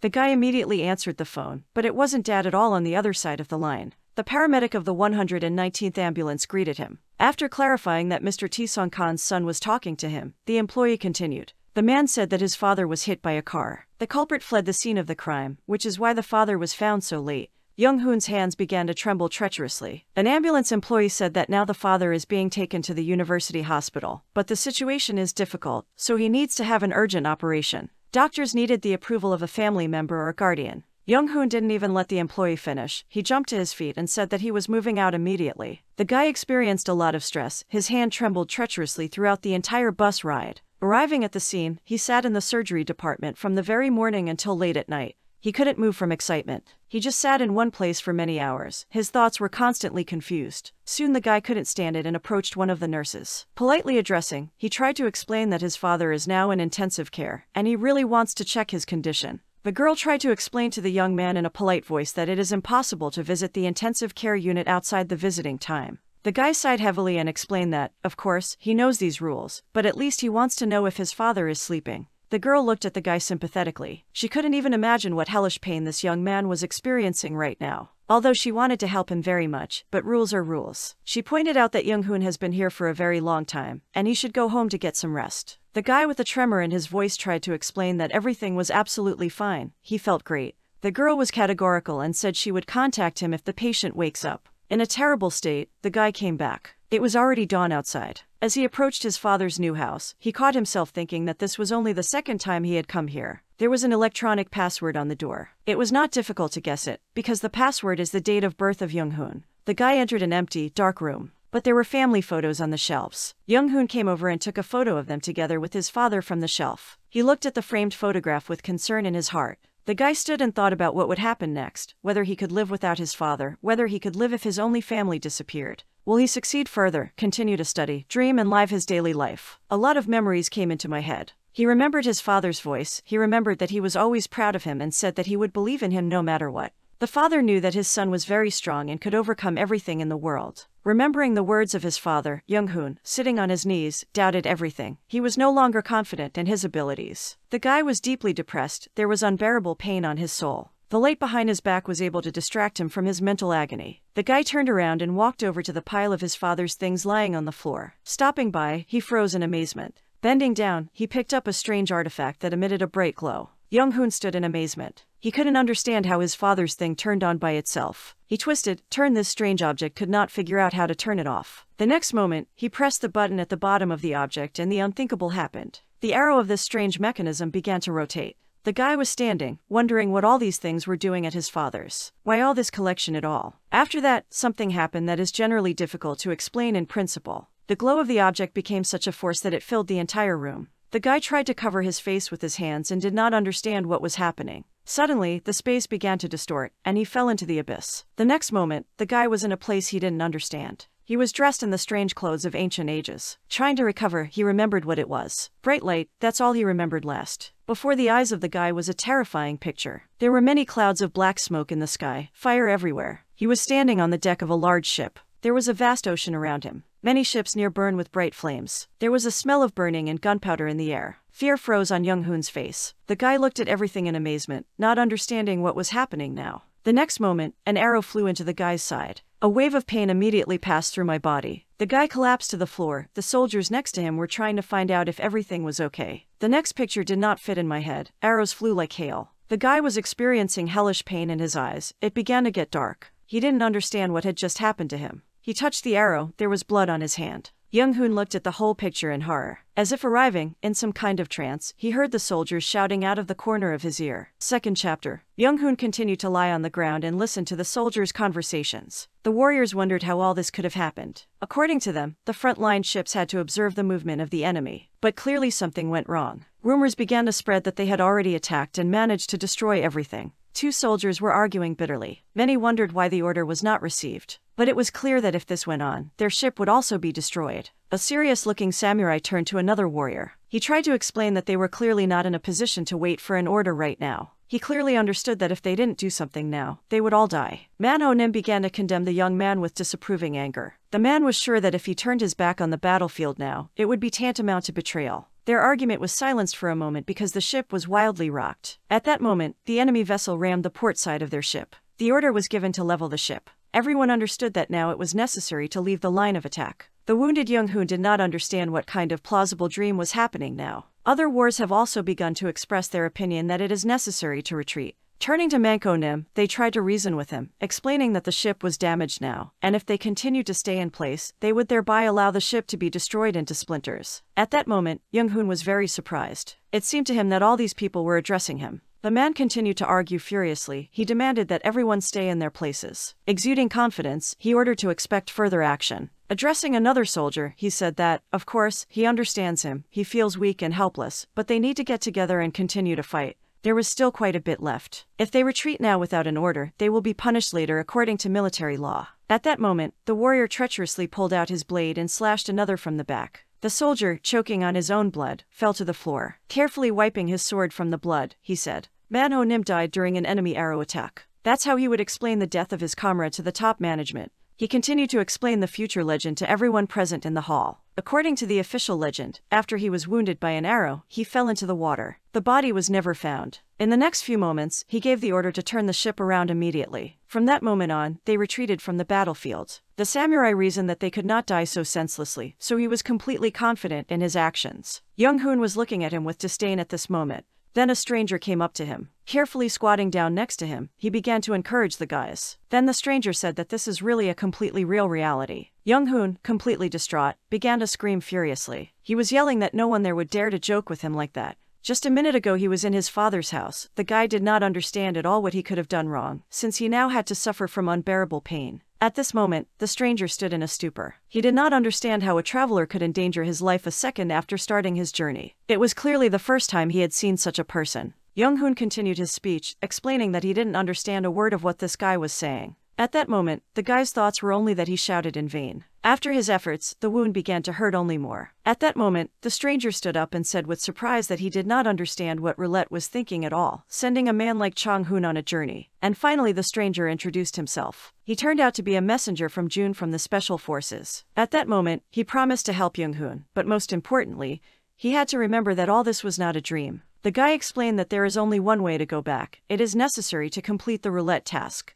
But the most important thing that needed to be listened to completely carefully was the reinforced concrete rule it was necessary to survive for sure. During the conversation, a strange stranger pulled an arrow out of Young Hoon's body. The guy was sitting on the floor in the cabin of the ship and that's in pain. At his sounds, the samurai standing nearby began to scold him for not getting an arrow like that. Young Hoon tried to explain that it wasn't him who did it, but that guy over there. But when they all turned around, there was no one in front of them. The guy just disappeared in an unknown direction. Soon the ship was safe. Arriving at the nearest land, Young Hoon found himself in the infirmary. Samurai Du touched the red-hot blade right up to Chong Hoon's wound. He calmed the guy down, saying that there was very little left. He needs to take care of his wound, otherwise there could be serious consequences. Young Hoon himself was screaming in pain. Warriors were standing nearby and engaged in a lively conversation. It was clear from their mouths that terrible news had arrived. According to the fishermen, the entire flotilla was destroyed. Everyone stood in amazement. No one understood how the entire flotilla could have perished. The warrior continued to spread the news and said that no one still knows where the commander is, and the heads of Chanra and Chunhan were killed. The news was just terrible. Of all the 180 ships of the Joseon Dynasty Navy, only 12 ships survived. Finally, when one of the warriors finished treating Young Hoon's wound, he was able to go outside. After all the hellish torments, the exhausted guy stood under the rays of the hot sun. He looked at the whole scene and could not utter a word. There were many military tents around him. The local wars have set up camp right on the rock. The masts of ships could be seen on the horizon. The guy stood there and couldn't believe that all this was happening for real. The next thing the guy did was he tried to just at least wash up. Approaching the basin of water, he felt hellish pain. His thoughts could not calm down in any way. He constantly pondered the words of that fabulous creature. That stranger had made it clear to him that in order to get back, it was necessary to survive. That is, literally, he cannot die. Young Hoon bent over the basin of water and saw his reflection in it. On the smooth surface of the water, he saw a completely different man. It was at this moment that he realized that he looked exactly like this now. While the guy was leaning over the basin, an unknown man turned to him in his thoughts. Choi Seok-young was called that and asked if everything was okay with his wound. The guy realized that even the name is now different from his real one. In the next moment, the guy's nerves could not stand it. He poured water on his face, warm from the sun. He did it very hard, trying to seem to come to his senses. He couldn't believe that all this was real. It must be a dream after all, a terrible and long dream. But then he had a vision. It was as if his father was sitting in front of him, saying that it was much easier to convince himself that everything around him was an ordinary nightmare than to accept the harsh reality. A nightmare would clearly be better. Young Hoon raised his head in amazement and opened his eyes. The guy froze in place, not knowing how to treat everything. After that, Young Hoon found himself in the tent. A meeting was held, headed by an inspector. Everyone understood that they had escaped from the battlefield without waiting for an order from above. It could only mean one thing if they found out about it, they would be sentenced to death. There was horror on the inspector's face, he clearly didn't want to die, because that's why they all escaped. For this reason of its own, it was decided to stay for now. At that moment, one of the warriors ran into the tent. He turned to the inspector with a message. The man was very surprised. What other message? From whom? The soldier who ran and said that the messages on behalf of the absent commander were again assigned to the position of naval commander. The warriors sitting next to Young Hoon breathed a sigh of relief. They were all wondering what they could be told, because what he could do with his small detachment, it was already completely late. Young Hoon looked at what was happening attentively, sweat trickled down his face, he could not figure out who they were talking about. At the same time, far from this place, a written message came to the naval commander in a house located on a huge rock. The resting man unfolded the scroll and read. The message said that it became known that in the last battle the number of sailors was reduced to 7,000. It also said that advice was given, if it was no longer possible to fight on the water, then it was necessary to go ashore and help One Su's army. The commander turned to the chronicler with imperturbable calm. He explained that His Majesty was very concerned about the Navy, so he would like to respond immediately. The commanders began to dictate. He reassured His Majesty, saying that all was not lost yet. There are still 12 ships left. If you make every effort, there will be nothing in the world that a person cannot cope with. There was confidence in his speeches. He said that as long as the sun rises, the enemy will not gain control of the seas of Joseon. The naval commander stood on the shore of the cliff and looked into the distance. The scarlet sun was slowly setting on the horizon. The man looked into the distance with confidence. He felt that he had enough strength to defeat the enemy. Soon, the Supreme Commander arrived at the surviving vessels. The inspector fell to his knees and began to bow to the Supreme Commander, begging for mercy. The Commander in Chief asked him a direct question about how he managed to survive in Gyeongsang Yuzus. The inspector continued to beg for mercy. He understood that he was very much to blame. The inspector had known everything for a long time. At that moment, he addressed the entire unit. Escaping from the enemy was considered a terrible sin. This sin could not be expiated even by death. But now the situation was so terrible that the commander in chief was ready to sacrifice his principles. He allowed the unit to give him a second chance. The soldiers stood at attention. Everyone listened very carefully. The commander in chief continued his speech and strongly recommended not to deviate from orders one step further. He warned if at least one goes to the battlefield, being weak in spirit, then he will personally cut the throat before the enemy does it. Young Hoon stood and looked attentively at everything that was happening. Finally, he realized that everything was happening exactly as in the era he was thinking about. Third chapter. All further actions were simply unimaginable. Young Hoon was sitting in the middle of all the events. Night was falling on their peaceful camp. Young Hoon was sitting on a big bench, couldn't believe himself. The guy understood that he had gone back in time to the moment of the Imjin War. Many facts began to come together in his head. He remembered the words of that strange type. He clearly explained that there was only one option to go back, and that was to complete the time roulette mission. In simple terms, to say if it's just to survive. The young man was sitting at a loss how to survive here. How long will he be able to survive it all and what will happen if he does die? The next moment, the kid had an idea. If this is the Joseon era, then he is a real person from the future. At that moment, he was filled with hope. The guy understood that he knew the whole future in advance. For the first time in his life, he was very happy that he was studying Korean history. Excitement lit up in the boy's eyes. Now the main mission was to remember everything. After all, the only way to continue this journey is to come up with the most innovative survival plan. To do this, you clearly need to remember every detail of the story. Well, alas, the happiness did not last long. He froze in horror. Young Hoon realized that he couldn't remember anything. It's been too long since he last took the university admission test. The guy, upset, sat on the bench and looked straight. He drew Borsh's attention to the noise coming from the voices of his colleagues. He didn't care at all at this moment about everything that was happening around him. Young Hoon quickly panicked. Although he hadn't forgotten a lot, he remembered some details. For example, he remembered well that the Imjin War was over in 1592. The guy desperately kept remembering the story. Episodes of old events surfaced before his eyes. He remembered that the ancient state was able to live 200 years in peace. But the post-war power of the state weakened and because of the wrong decisions of some commanders, King Seonjo,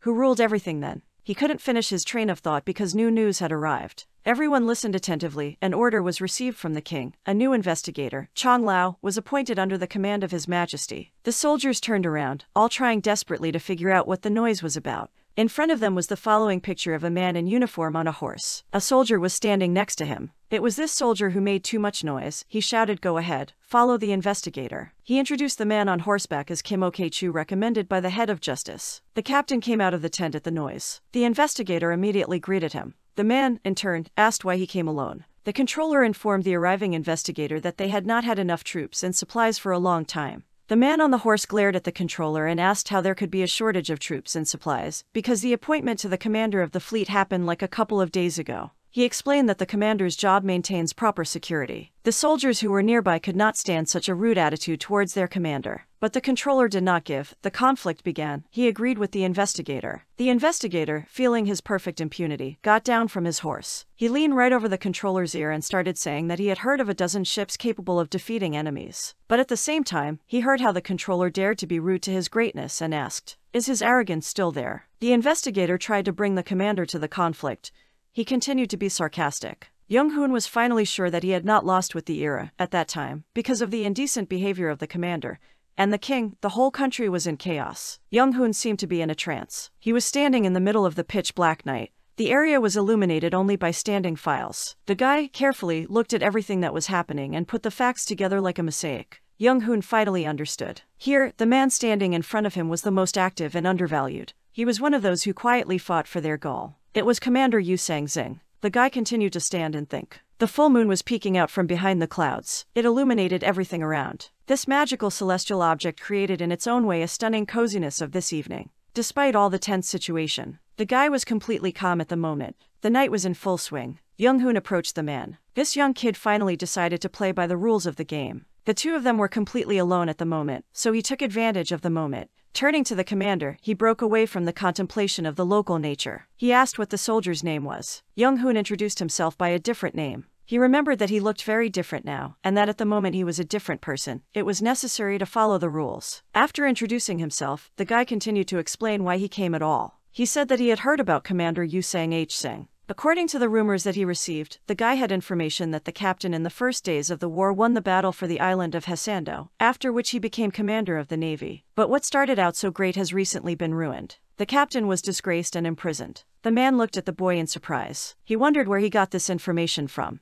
The man choked and said he was surprised how quickly rumors spread. Also, looking directly at the guy, he noticed that he had heard that he was talking to Lee. Young Hoon resolutely continued his speech. He was determined to warn the man. The guy explained that he had seen him at an exhibition of a great man, and seeing all the negligence of the investigator as a soldier, he was outraged. The guy was sure that he trusted his people and offered to punish him until something bad happened. The man listened to this young soldier with a sinking heart. The boy's words pierced the man's thoughts like a sharp blade. Being in no great shock, he replied that the battlefield was not a resort at all. Standing in the night under a huge starry sky, the man continued. He was trying to convey to the guy that all he had to do was fight the enemies. The captain understood that there was absolutely no time to deal with personal matters right now. But at the same time, he understood why this young youth was so worried now. Young Hoon was taken aback. For the greenhouse, as if everything around was frozen in place, the moment dragged on endlessly. He understood that it would be very difficult to convince the captain now. After the man explained that now it's time to do something more, he walked past Young Hoon and explained that just as he can think about winning at such a time, so he should think about losing.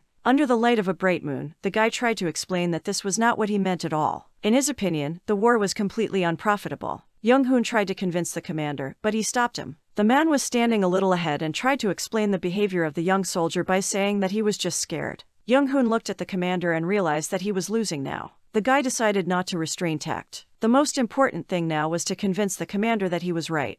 Young Hoon explained that if something goes wrong, if we can't hold back, there's nothing left. The things we have done for life will be meaningless. These two were standing right on the shore of a huge ocean. The wind carried the leaves and ruffled their clothes. The commander, looking at the young man, tried to convey worldly wisdom. Because if you go, I wish you a happy life, you will die. However, if you are ready to die, you will have a path to life. Young Hoon looked at the commander with his mouth slightly open in amazement. The commander's words were quotes from The Art of Fighting. He explained that if you are a part of art, do not miss the opportunity to practice wherever you are. Young Hoon turned away and sighed heavily. The young man, looking into the distance correctly, noticed that he also had to be prepared for death. The commander standing at a distance from him, closing his eyes, felt the currents of the wind. At that moment, he merged with nature. His main advice right now was for a young soldier to have the courage. The night was very warm, the sky was almost completely cleared of clouds. The moon was shining so brightly that it was completely visible, as if it was day. The commander was trying to convey to Young Hoon that it is courageous to face death directly. But doing what is required of you at the right time is also courage. The man was standing right on the edge of the cliff. Young Hoon saw his expression. But the guy felt the commander's confidence and peace of mind. At that moment, he was learning the most important thing. You always have to go where it's scary. Although the enemy's movement cannot be read, there will probably be a big battle soon. Young Hoon was sweating all over at that moment. He was very worried. The guy called out to the commander and then said that if there was a battle tomorrow, well, you just need to imagine that this could happen. Then he clearly needs to be careful. At that moment, he tensed up all over. The excitement has reached its peak. The captain turned around and asked in surprise what he meant. At that moment, Young Hoon was very much lost. The guy said he wasn't 100% sure, he just felt that something was going to happen. The captain took a deep breath and humbly closed his eyes. He was tired of arguing with the young guy. Finally, he agreed and promised that he would keep this thought in his head. Little by little, night was replaced by morning. The sun was slowly rising from the horizon, bringing with it a new day. It all started at dawn. A huge flotilla sailed along the gorge. At the head was the captain of the Japanese Navy, Takatora Tadou. He was sailing towards the enemies, waiting for his victory today. He knew that the might of his 7,000th Army would be able to show itself in all its glory. At this moment, the commander of the Japanese naval raid, Captain Kirishima Michifus, was mocking the stupid to do. On this fateful day, he was determined to get rid of the captain. According to his cunning plan, all this was supposed to happen even faster than he would destroy the Joseon fleet. With a sinister smile, Am understood that if he killed Commander Yu Sang-sin, then General Toyotomi would definitely recognize him. A man standing on the mast of a ship threatened in his dreams. In his mind, he understood that at this rate he would soon be able to become a general himself. But a soldier ran up and distracted him from his dreams. He informed the captain that a message had arrived. The captain reluctantly turned to the soldier and made a remark so that he did not dare to distract him with unimportant matters. The warrior apologized and said that this matter is very important. According to the latest news, the Joseon army blocked the road to Myeongnyang. The ships of the flotilla could no longer move. The way forward was completely cut off. The captain froze in amazement at the information received. At that moment, he felt as if he knew about the attack. Commander Joseon's ship was visible on the horizon. Their small flotilla was ready to defend itself. At that moment, every soldier of the Josian army was ready to give his life for the sake of victory. Finally, the historic day of the battle has arrived. But even at that moment, Young Hoon was able to disgrace himself. He threw up overboard. As local soldiers said, he clearly had seasickness. Fourth chapter Defensive commands were heard every second.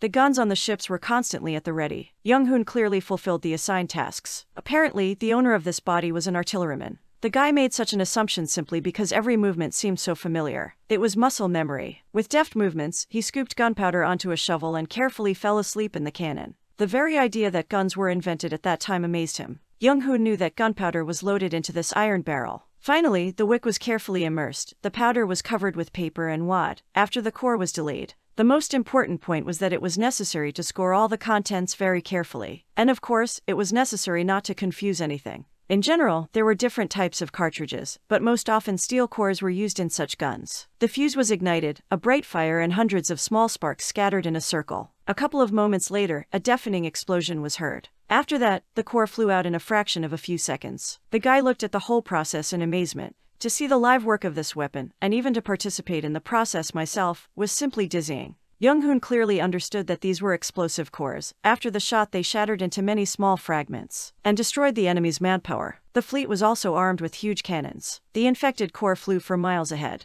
Reaching the target, it hit entire ships. Indeed, the core itself looked more like some kind of rocket. The enemies stared in amazement at everything that was happening and could not do anything. After hitting the first ships, the Joseon army officially opened fire with cannons, thereby starting the war. Young Hoon looked at everything with horror in his eyes. The guy was amazed at the cruelty of ancient people. Further actions were very lively. The soldiers on the ship noticed that the enemy's movement was very suspicious. They were sure that they should have crashed long ago. But, apparently, the opponents decided to bypass them from the side. The wars wondered what they should do now. After all, if something goes wrong, the opponents will definitely surround them. At this moment, Lai Songsing was confused. He could not get ahead and behind the small ships in any way. Sasan's army at that moment decided to retreat immediately. The flotilla decided to take advantage of the current that was against them, because with the help of it they could go back. Lai Songsing, realizing the sadness of the situation, decided to attack anyway. He tried to inspire the soldiers with his speeches. He urged them not to be afraid, even if they were surrounded. In any case, they have to keep attacking.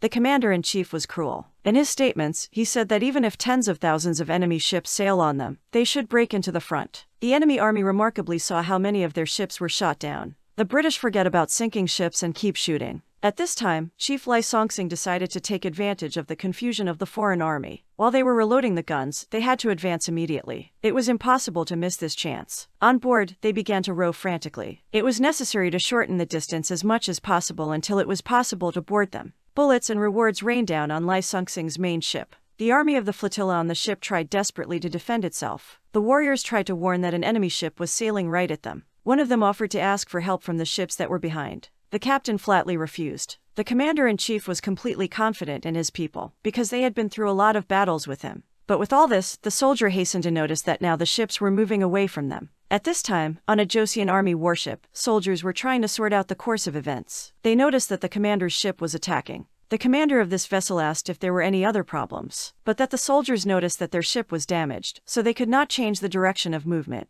The sailor with the sharpest vision noticed that the commander's ship was still moving, moving directly towards the enemy. The soldiers were confused, they did not understand what the commander was thinking about. Then everyone noticed that the commander's ship had raised the flag, which means they had to follow him. The ship's commander hesitated, he did not know what to do. He understood that following the Doomsday Commander in Chief meant certain death. Even Wu Young-hoon, who did not understand strategy, understood that it all looked very crazy. There were too many opponents. The guy didn't understand what Lai Sung-sing was thinking, as if he had gone into oblivion, completely forgotten about everything. After all that had happened, Young Hoon finally understood the commander's words. He yelled that they should attack immediately. The commander of the ship thought that the guy had gone crazy. He did not understand how he was ready to commit suicide. Young Hoon replied that even if they were surrounded, this place was too narrow, so if they couldn't move, then so would the opponents. The guy explained that there is very little space in the gorge, so the enemy's big ships will not be able to squeeze through. If they attack right now, they will be able to win. The ship's captain understood everything, but he believed that it was too dangerous to attack now. The two began to argue furiously. The captain of the ship tried to remind what had happened earlier, because after their words that the soldiers had a chance to win, many people died.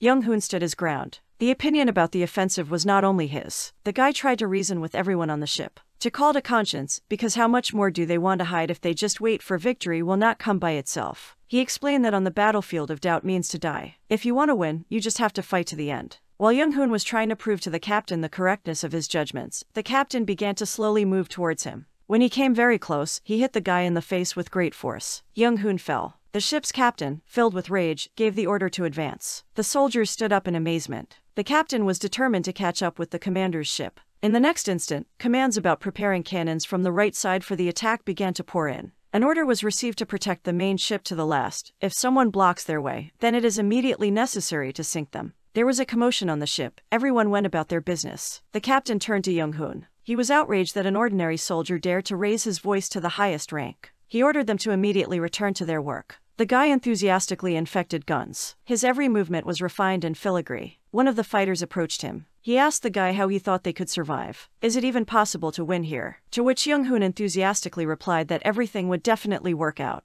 You'll see today is the last day of the war. Fifth chapter. Images popped up before the guy's eyes. He recalled that the main task is to survive. You need to be brave. My father's words sounded like a loud bell in my head. He remembered to hold on to the end. Even if it will be very difficult, being face to face with death. As he lit another fuse, he wondered if the day was the right choice. Maybe it was better to stay, then there would definitely be more chances to survive. However, Young Hoon knew that he would definitely regret it if he didn't do anything. The commander in chief heard a voice. Anhui said that you should not worry about the right side, you should focus on the left. The commander in chief stared at the ship in amazement. Without thinking for a second, he began to accuse the commander of negligence. After all, the commander in chief did not see how they were hanging out from behind. He again accused the soldiers of cowardice. Anhui asked for forgiveness and noticed that they are here right now, so let the commander in chief give them a chance to help at least this time. Lai Songxing smiled and made a remark to the guy, remarking that if he messed up, he would obviously be executed. On the port side, they noticed that Captain An's ship was out ahead. The commander-in-chief noticed that it seemed that the captain of the enemy ship also understood something.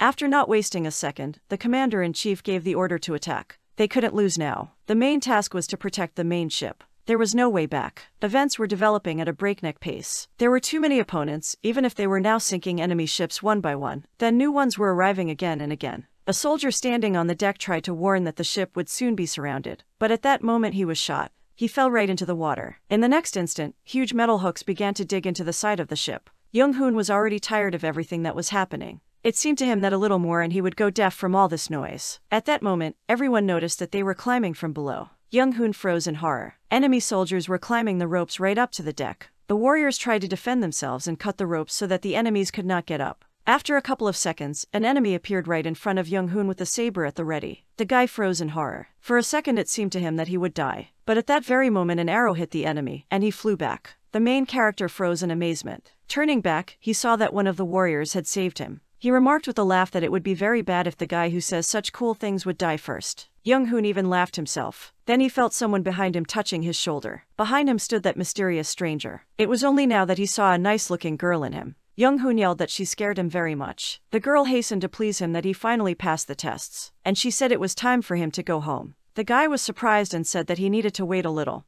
He still had things to do here. To which the stranger replied that there was no need to worry. She pointed into the distance and said that he did a great job, was able to turn the whole situation around. Now this fight will definitely not lose without him. They looked into the distance and saw the battle going on. The enemies have already climbed aboard the main ship. But the warriors on the ship were clearly not at a loss. At that moment, they witnessed how the commander in chief in one movement easily struck the enemy. The girl turned to the traveler again and said that it was time for them. His world was waiting for a guy. The girl hit the deck with her spear and everything sparkled. Young Hoon was back in his father's room. The guy stumbled to the floor. His head hurt like hell. It was getting dark in my eyes. Suddenly, he was finally able to realize that he had returned back to the future. He was lying half dead on the cold floor of the room. Sweat broke out on his face. The young man convulsively stretched out his hand to the phone. When he unlocked the phone, he realized that today was until the 21st of February, and in the notes it was indicated that the study was beginning. He stared at the phone screen in confusion. He reached out his hand to his face and forcefully pinched himself, having reason that once they feel pain, it means that this is not a dream. But at the same moment, he realized that even then, being in the past, he felt pain. So, all this was also a reality. The guy laughed. It seems that due to stress, he had the most unusual dream in his life. He felt as if he had lived in a dream for a couple of days. I still had a headache. For a while, he even thought he was going crazy. With a wild thirst, he headed for the kitchen. When the guy came in, he saw something.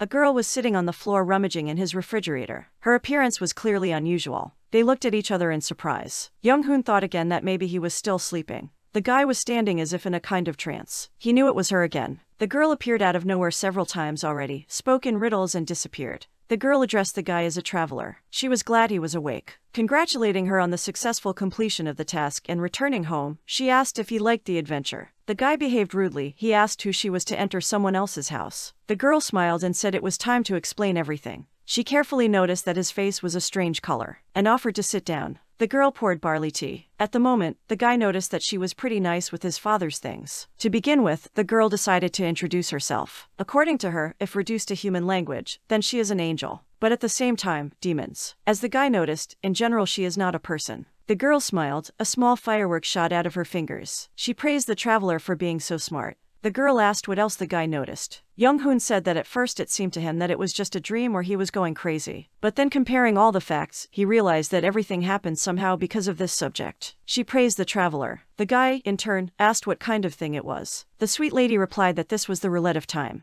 She advised the guy to try to see her, pay attention to how the numbers are arranged. Then she told me that the Earth rotates around its axis in 24 hours. Then people began to call it days. And at some point they started tying numbers to the clock. Soon the day began to add up to a month, and the months together became years. He realized, if you look at the numbers, the arrow points to 1597th year. Just then there was a battle in which he participated. He was shocked by the realization of what was happening. After all, it turns out that all he experienced was time travel. He sat and looked at the time roulette. After a few seconds, he suggested that she could not go back to the time before our era. To which the girl replied angrily, Of course, maybe these numbers were created only so that people would understand. Young Hoon continued, Okay, even if we assume that traveling in time is possible, then why would he move into someone else's body at all? And why does this girl disappear and appear whenever she wants? The guy didn't understand a lot, to which the girl simply replied that it was necessary to accept these things without questions. Young Hoon was surprised. He could not come to terms with these rules of the game. She replied that even if she tried to explain now, he still wouldn't understand. After all, these things would be beyond human understanding.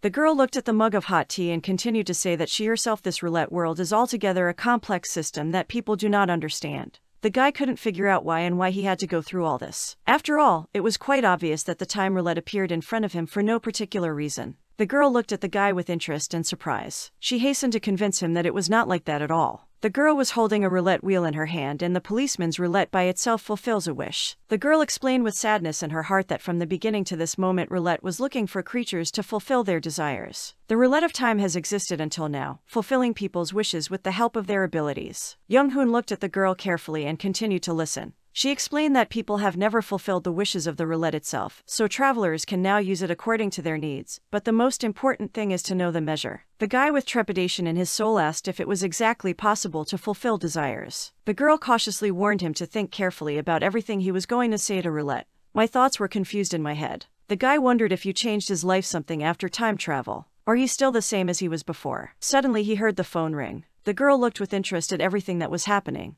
The guy hesitantly continued to look. Then a nice girl asked him to pick up the phone, because isn't it something important? Out of politeness, Young Hoon asked if she was against it, to which the girl replied that they would obviously see each other again, because his travels had just begun. Before she disappeared into space again, he hurried to ask, What is her name? The girl smiled and said that she had almost forgotten. How do people put such a deep meaning into names? She said he could call her June. He picked up the phone on the other line, they were talking from the hospital. From the news he received, he learned that everything was fine with his father. Vital signs returned to normal. Although he hadn't woken up yet, it was clearly much better. The guy also found out that the reception hours are about to start, so he can pass. When he entered the intensive care unit, he saw his father lying on the couch. He was wearing an oxygen mask, and he looked obviously unwell. Young Hoon sat in deathly silence, looking at Dad. The hospital smelled of medicines and all sorts of devices were constantly beeping. Looking at all this, he decided to try to do the impossible. He decided not to fall into complete despair. He understood that his father clearly would not want him to sit and just whine. Lieutenant Yun Chul Hwen distracted the guy from his gloomy thoughts. The man looked very nice and friendly. The guy, as if by chance, clarified whether he was engaged in his father's business. To which the lieutenant replied that it was absolutely true. They had just returned from a crime scene. They were sitting on the couch, the lieutenant was trying to explain many things. It was clear that if the victim had been taken to the hospital immediately, the consequences would not have been so serious. The man was very sympathetic, everything was obviously hard for him. In his opinion, leaving a person in such a place is like killing. The victim's son asked if there were any witnesses on the spot. The lieutenant was upset, said that, apparently, there was no one at all, since everything happened on a mountain road, but they are still looking for possible witnesses. Then Young Hoon said that most likely, there must surely be cameras nearby, because even on a mountain road you can see which cars are coming in. If you look at all the cameras around the crime scenes, you can find the criminal's car. The lieutenant stopped the boy. He explained that they themselves also first thought about surveillance cameras. They even checked all the registrars of local residents. They were able to see her license plate car. Young Hoon asked what the problem was then, because they could easily find out who the owner was. But then the completely gloomy and saddened lieutenant explained that the car was illegal. The car was specially registered in advance for one person, and someone else drives it. Jong Hoon's mind was full of hell. It was obviously hard to realize what had happened. The lieutenant with the drooping head explained that the criminal had abandoned the car after the whole incident.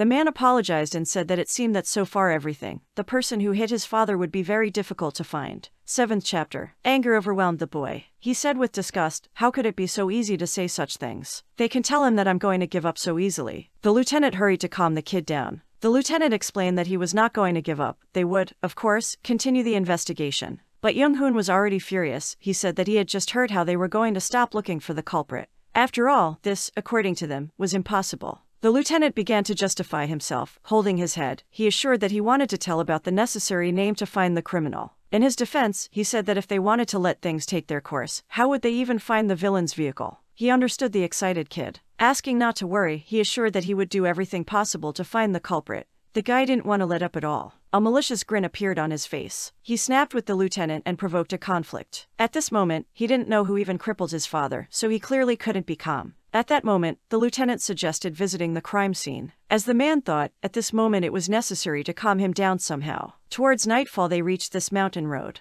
The track was very long and winding. There were thickets of trees and bushes around. They walked along the asphalt until they stopped it near a pool of blood. The lieutenant walked a few steps ahead, lighting the way with a flashlight. He explained that this area is private, so they can't go back and forth endlessly, but apparently no one was here right now. Young Hoon didn't understand at all why his father decided to take a walk here. Interest devoured the boy from the inside. The lieutenant turned to him and said that, to tell the truth, he also did not understand very much. As the man said, they expected to get an answer to this question from their son. After going a little further, he showed where the criminal's vehicle was located. They were standing in the middle of pitch darkness. The flashlight illuminated the horizon, and they saw a car in the water in the distance. As the lieutenant specified, the criminal's vehicle was spotted right here, but he turned out to be quite inventive. Young Hoon didn't understand how the car ended up here. The lieutenant explained that the criminal had attached a stone to the gas pedal and destroyed the snails. Two men were standing on the shore of the lake. The silence began to press from within. The next moment, the lieutenant offered to stop everything.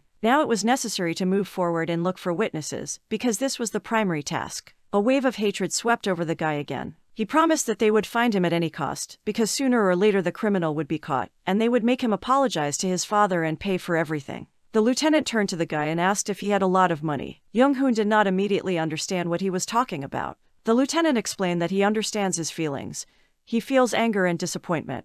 The employee understood that this kid is not experiencing any joy right now and is constantly wondering why it all happened to him. He was familiar with these feelings because his younger brother was hit to death by a car. Young Hoon looked at the man with surprise. The lieutenant went on to explain that at that time he was the same age as the guy now. The man then went crazy in the same way trying to find the street. Lowering his head, he continued his story. At that time, he spent a lot of time and money. He understood that it was very hard for the guy right now. But he tried to explain that when he came to himself, his life was turned upside down.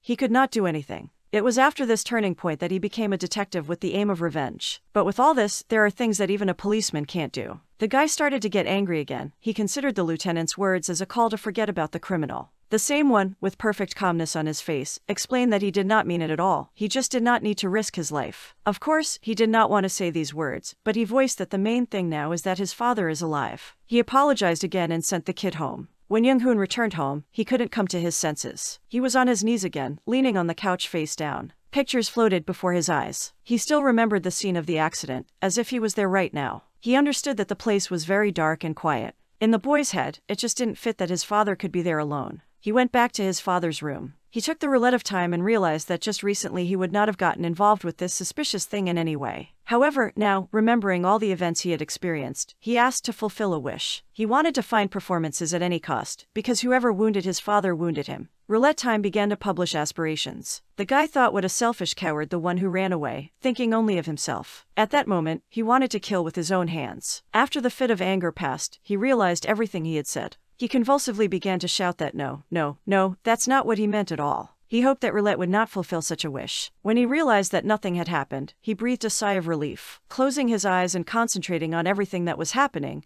he made a wish again. Now he wanted to find the culprit so that he would be brought before the law. The time roulette sparkled again. The last step was to press the button at the bottom of the roulette wheel and set the correct time. This time he went back to the past again. The first digit is 1, then 8 and finally 3. A bright glow lit up the whole room. But the guy turned out to be together, in which he did not expect to be at all. He was in a large, richly decorated hall. June was sitting in front of him, judging him with her eyes. The poor guy immediately broke into a sweat and decided to ask why she did it. The girl was looking intently at Young Hoon. After that, she asked why it was so complicated at all. The easiest thing was to kill him. The guy explained that in the human world there are laws for punishing a person. There are their own processes. He could not just take someone's life. The girl looked at him and assumed that he wanted to take revenge with the hands of other people on the man who killed his father. Hearing this, the guy screamed that his father was alive. And in general, it's not just about revenge, but also about justice. June hated the word justice more than anything in the world. In her opinion, it was one of the most confusing concepts invented by man. She looked at the guy with contempt. A smile appeared on his face. He eagerly asked if she really wanted to convince him. She sighed heavily and closed her eyes. There was nothing like that in her thoughts, because she was just a connecting link. Her mission is to deliver roulette instructions. Space began to distort again. The girl decided to tell about the task. It was necessary to fulfill the client's request. But she decided to warn right away that it would be much more difficult than surviving on the battlefield. The next second, a girl disappeared in front of him, and when a completely different lady. She looked unhappy and was clearly swearing. She accused him of rudeness and selfishness on his part.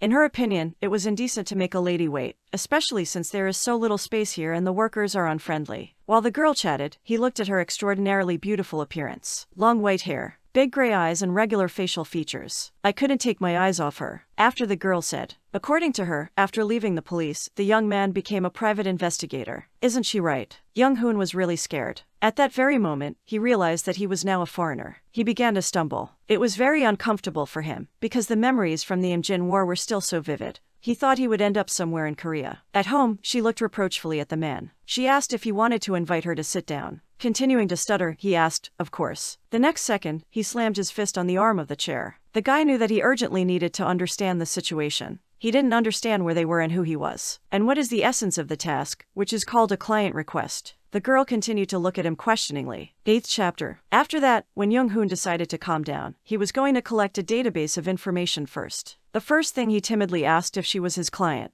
The girl pushed through. She took off her hat and said with sadness in her eyes that the man decided to talk to her rather rudely. Okay, though. Apparently, it's all because she's just a maid. The girl started crying very hard. The guy sat and continued to sweat. Soon he could not stand the women's tears. The most important thing for him now was to understand what was going on. And since this girl is familiar with the owner of the body, then he needs to trust the body just like last time. He changed in front of Rebecca, and he said that his tongue began to rush when he saw her sparkling gray eyes. He claimed that it was quite easy for a man to forget how to talk to such a beautiful woman. Young Hoon said all sorts of nice things to the lady and told her to come up to him a cute kitty. A chill ran through him from the last words. He grabbed for the goal in a panic, for him the heat was failed. He was more than sure that he had screwed up, and she was going to get mad at him. The girl immediately had tears, she said that she could not even offend such a cutie. And although he offended her very much, but when she sees him, she becomes a weak lady. The girl got up and walked towards him. These two were in a fairly spacious room. The furniture, apparently, clearly cost a lot of money. There was a hefty picture hanging on the wall. The girl decided not to delay, got up and began to approach the man. She explained that her boss, Monsieur Albert, had sent her here. She asked if he had already heard about Natalie's death. The girl came up and snuggled up to the guy. The girl was tenderly hugging his hand. She said that as soon as she mentioned his name to the owner, he was immediately sure that he would be able to find the killer. The guy replied that of course. And finally the first clues of Monsieur instead of Mr. Shirley this is France. The girl sat up and began to whisper in the guy's ear. She only asked not to mention this assignment especially with the police, because it would be bad if the rumors spread. She went on to say that the Paris police and detectives offered to help in the search, but Monsieur Albert refused. She was holding the man's head, he was looking at her very carefully. Young Hoon could not understand why the owner refused to investigate. The maid replied without much emotion that she did not know herself, but suggested that he simply did not trust the police. After her words, the guy experienced strange feelings. He couldn't describe it with anything he had experienced before in his life, but it clearly looked like a premonition of something serious. He took these feelings as a signal from the body, it clearly wanted to tell him something. The guy turned to the girl. He gently put his arm around her shoulders and asked if she knew anything else. He assured her that he needed her help now. The girl was very surprised. She looked at the man with a little excitement. The girl could not believe that the murderer of Napoleon's children, whose prisoner no one can recognize the Parisian king of the night, Eugene Francois Vidocq needs her help. Young Hoon sighed heavily and closed his eyes. At that moment, his acting was just brilliant. He turned to Rebecca with a little gasp and asked her not to do that. Looking straight into the girl's eyes, he tried to explain. Although she knew perfectly well about his brilliant career, but now in the face of such a lovely lady, he is just a man walking. Rebecca froze, she is very attentive. She was listening to every word. After listening to the end, she exclaimed joyfully. According to her, he was so good that he knew the way to a woman's heart. Even Young Hoon himself was very surprised by himself. Having melted under the spell of the man, the girl gave up. She told a little secret. Before the murder, the late Natalia, Monsieur Albert's daughter, left without her father's knowledge. Sneaking into the basement while no one sees, she took a very valuable item from her father's safe. But when her body was found on the river bridge, she had nothing with her. Young Hoon stood close to the girl. He was talking about where the girl should go at such a late hour completely alone. After all, even her father didn't know anything. The girl smiled for a moment and touched Young Hoon's lips. She spoke again, this time saying that her excommunication from home was understandable enough. Most likely, at such a late hour, she went to meet her lover. The next second, she gently kissed Young Hoon on the cheek. She put on her hat and walked away. Saying that she had told him everything she could know, she said goodbye to the man and left. Young Hoon sat like a cotton ball, blushed all over and lost his mind for a few seconds. But pretty quickly coming to his senses, he wondered whose body it was and what that person looked like. Going to the closet, he looked into the reflection of the glass. There was an old man. Young Hoon noticed that he was clearly not handsome and, in addition, bald. Young Hoon understood that it was necessary to find the killer as soon as possible, which means that first you need to examine the crime scene. Going outside, he found himself in the beautiful streets of Paris. The guy could never have imagined that he would end up here like this. As might have been expected, the city turned out to be very beautiful. While he was loitering around the streets, he noticed that there were a lot of tramps and beggars here. The difference between rich and poor was great. You can even say it was amazing. Right on the move, he summed up the results. His name is Vidocq. He used to be a police officer, an investigator, and now runs his own business. Apparently, he was a detective. Well, or in other words, he is a detective. The victim whose murder he is investigating was Natalia Albert. The girl was 21 years old. The girl's body was found in the morning near the River Seine with a head wound. The guy stood on the bridge and looked at a similar purple spot. It is directly embedded in the stone along the pavement to the very base. It was clear to the guy why Monsieur Albert wanted to find the killer. However, he did not understand why there was such secrecy, why it was impossible to tell anyone about the mission. He knew perfectly well that if he refused to help the police, everything would only get more complicated. Young Hoon stood in his thoughts, when suddenly a man called out to him. Turning around, he saw a shabby looking man with a bottle in his hand. He was obviously delighted to meet Mr. Vidocq. The man asked why the investigator was hanging around the city alone.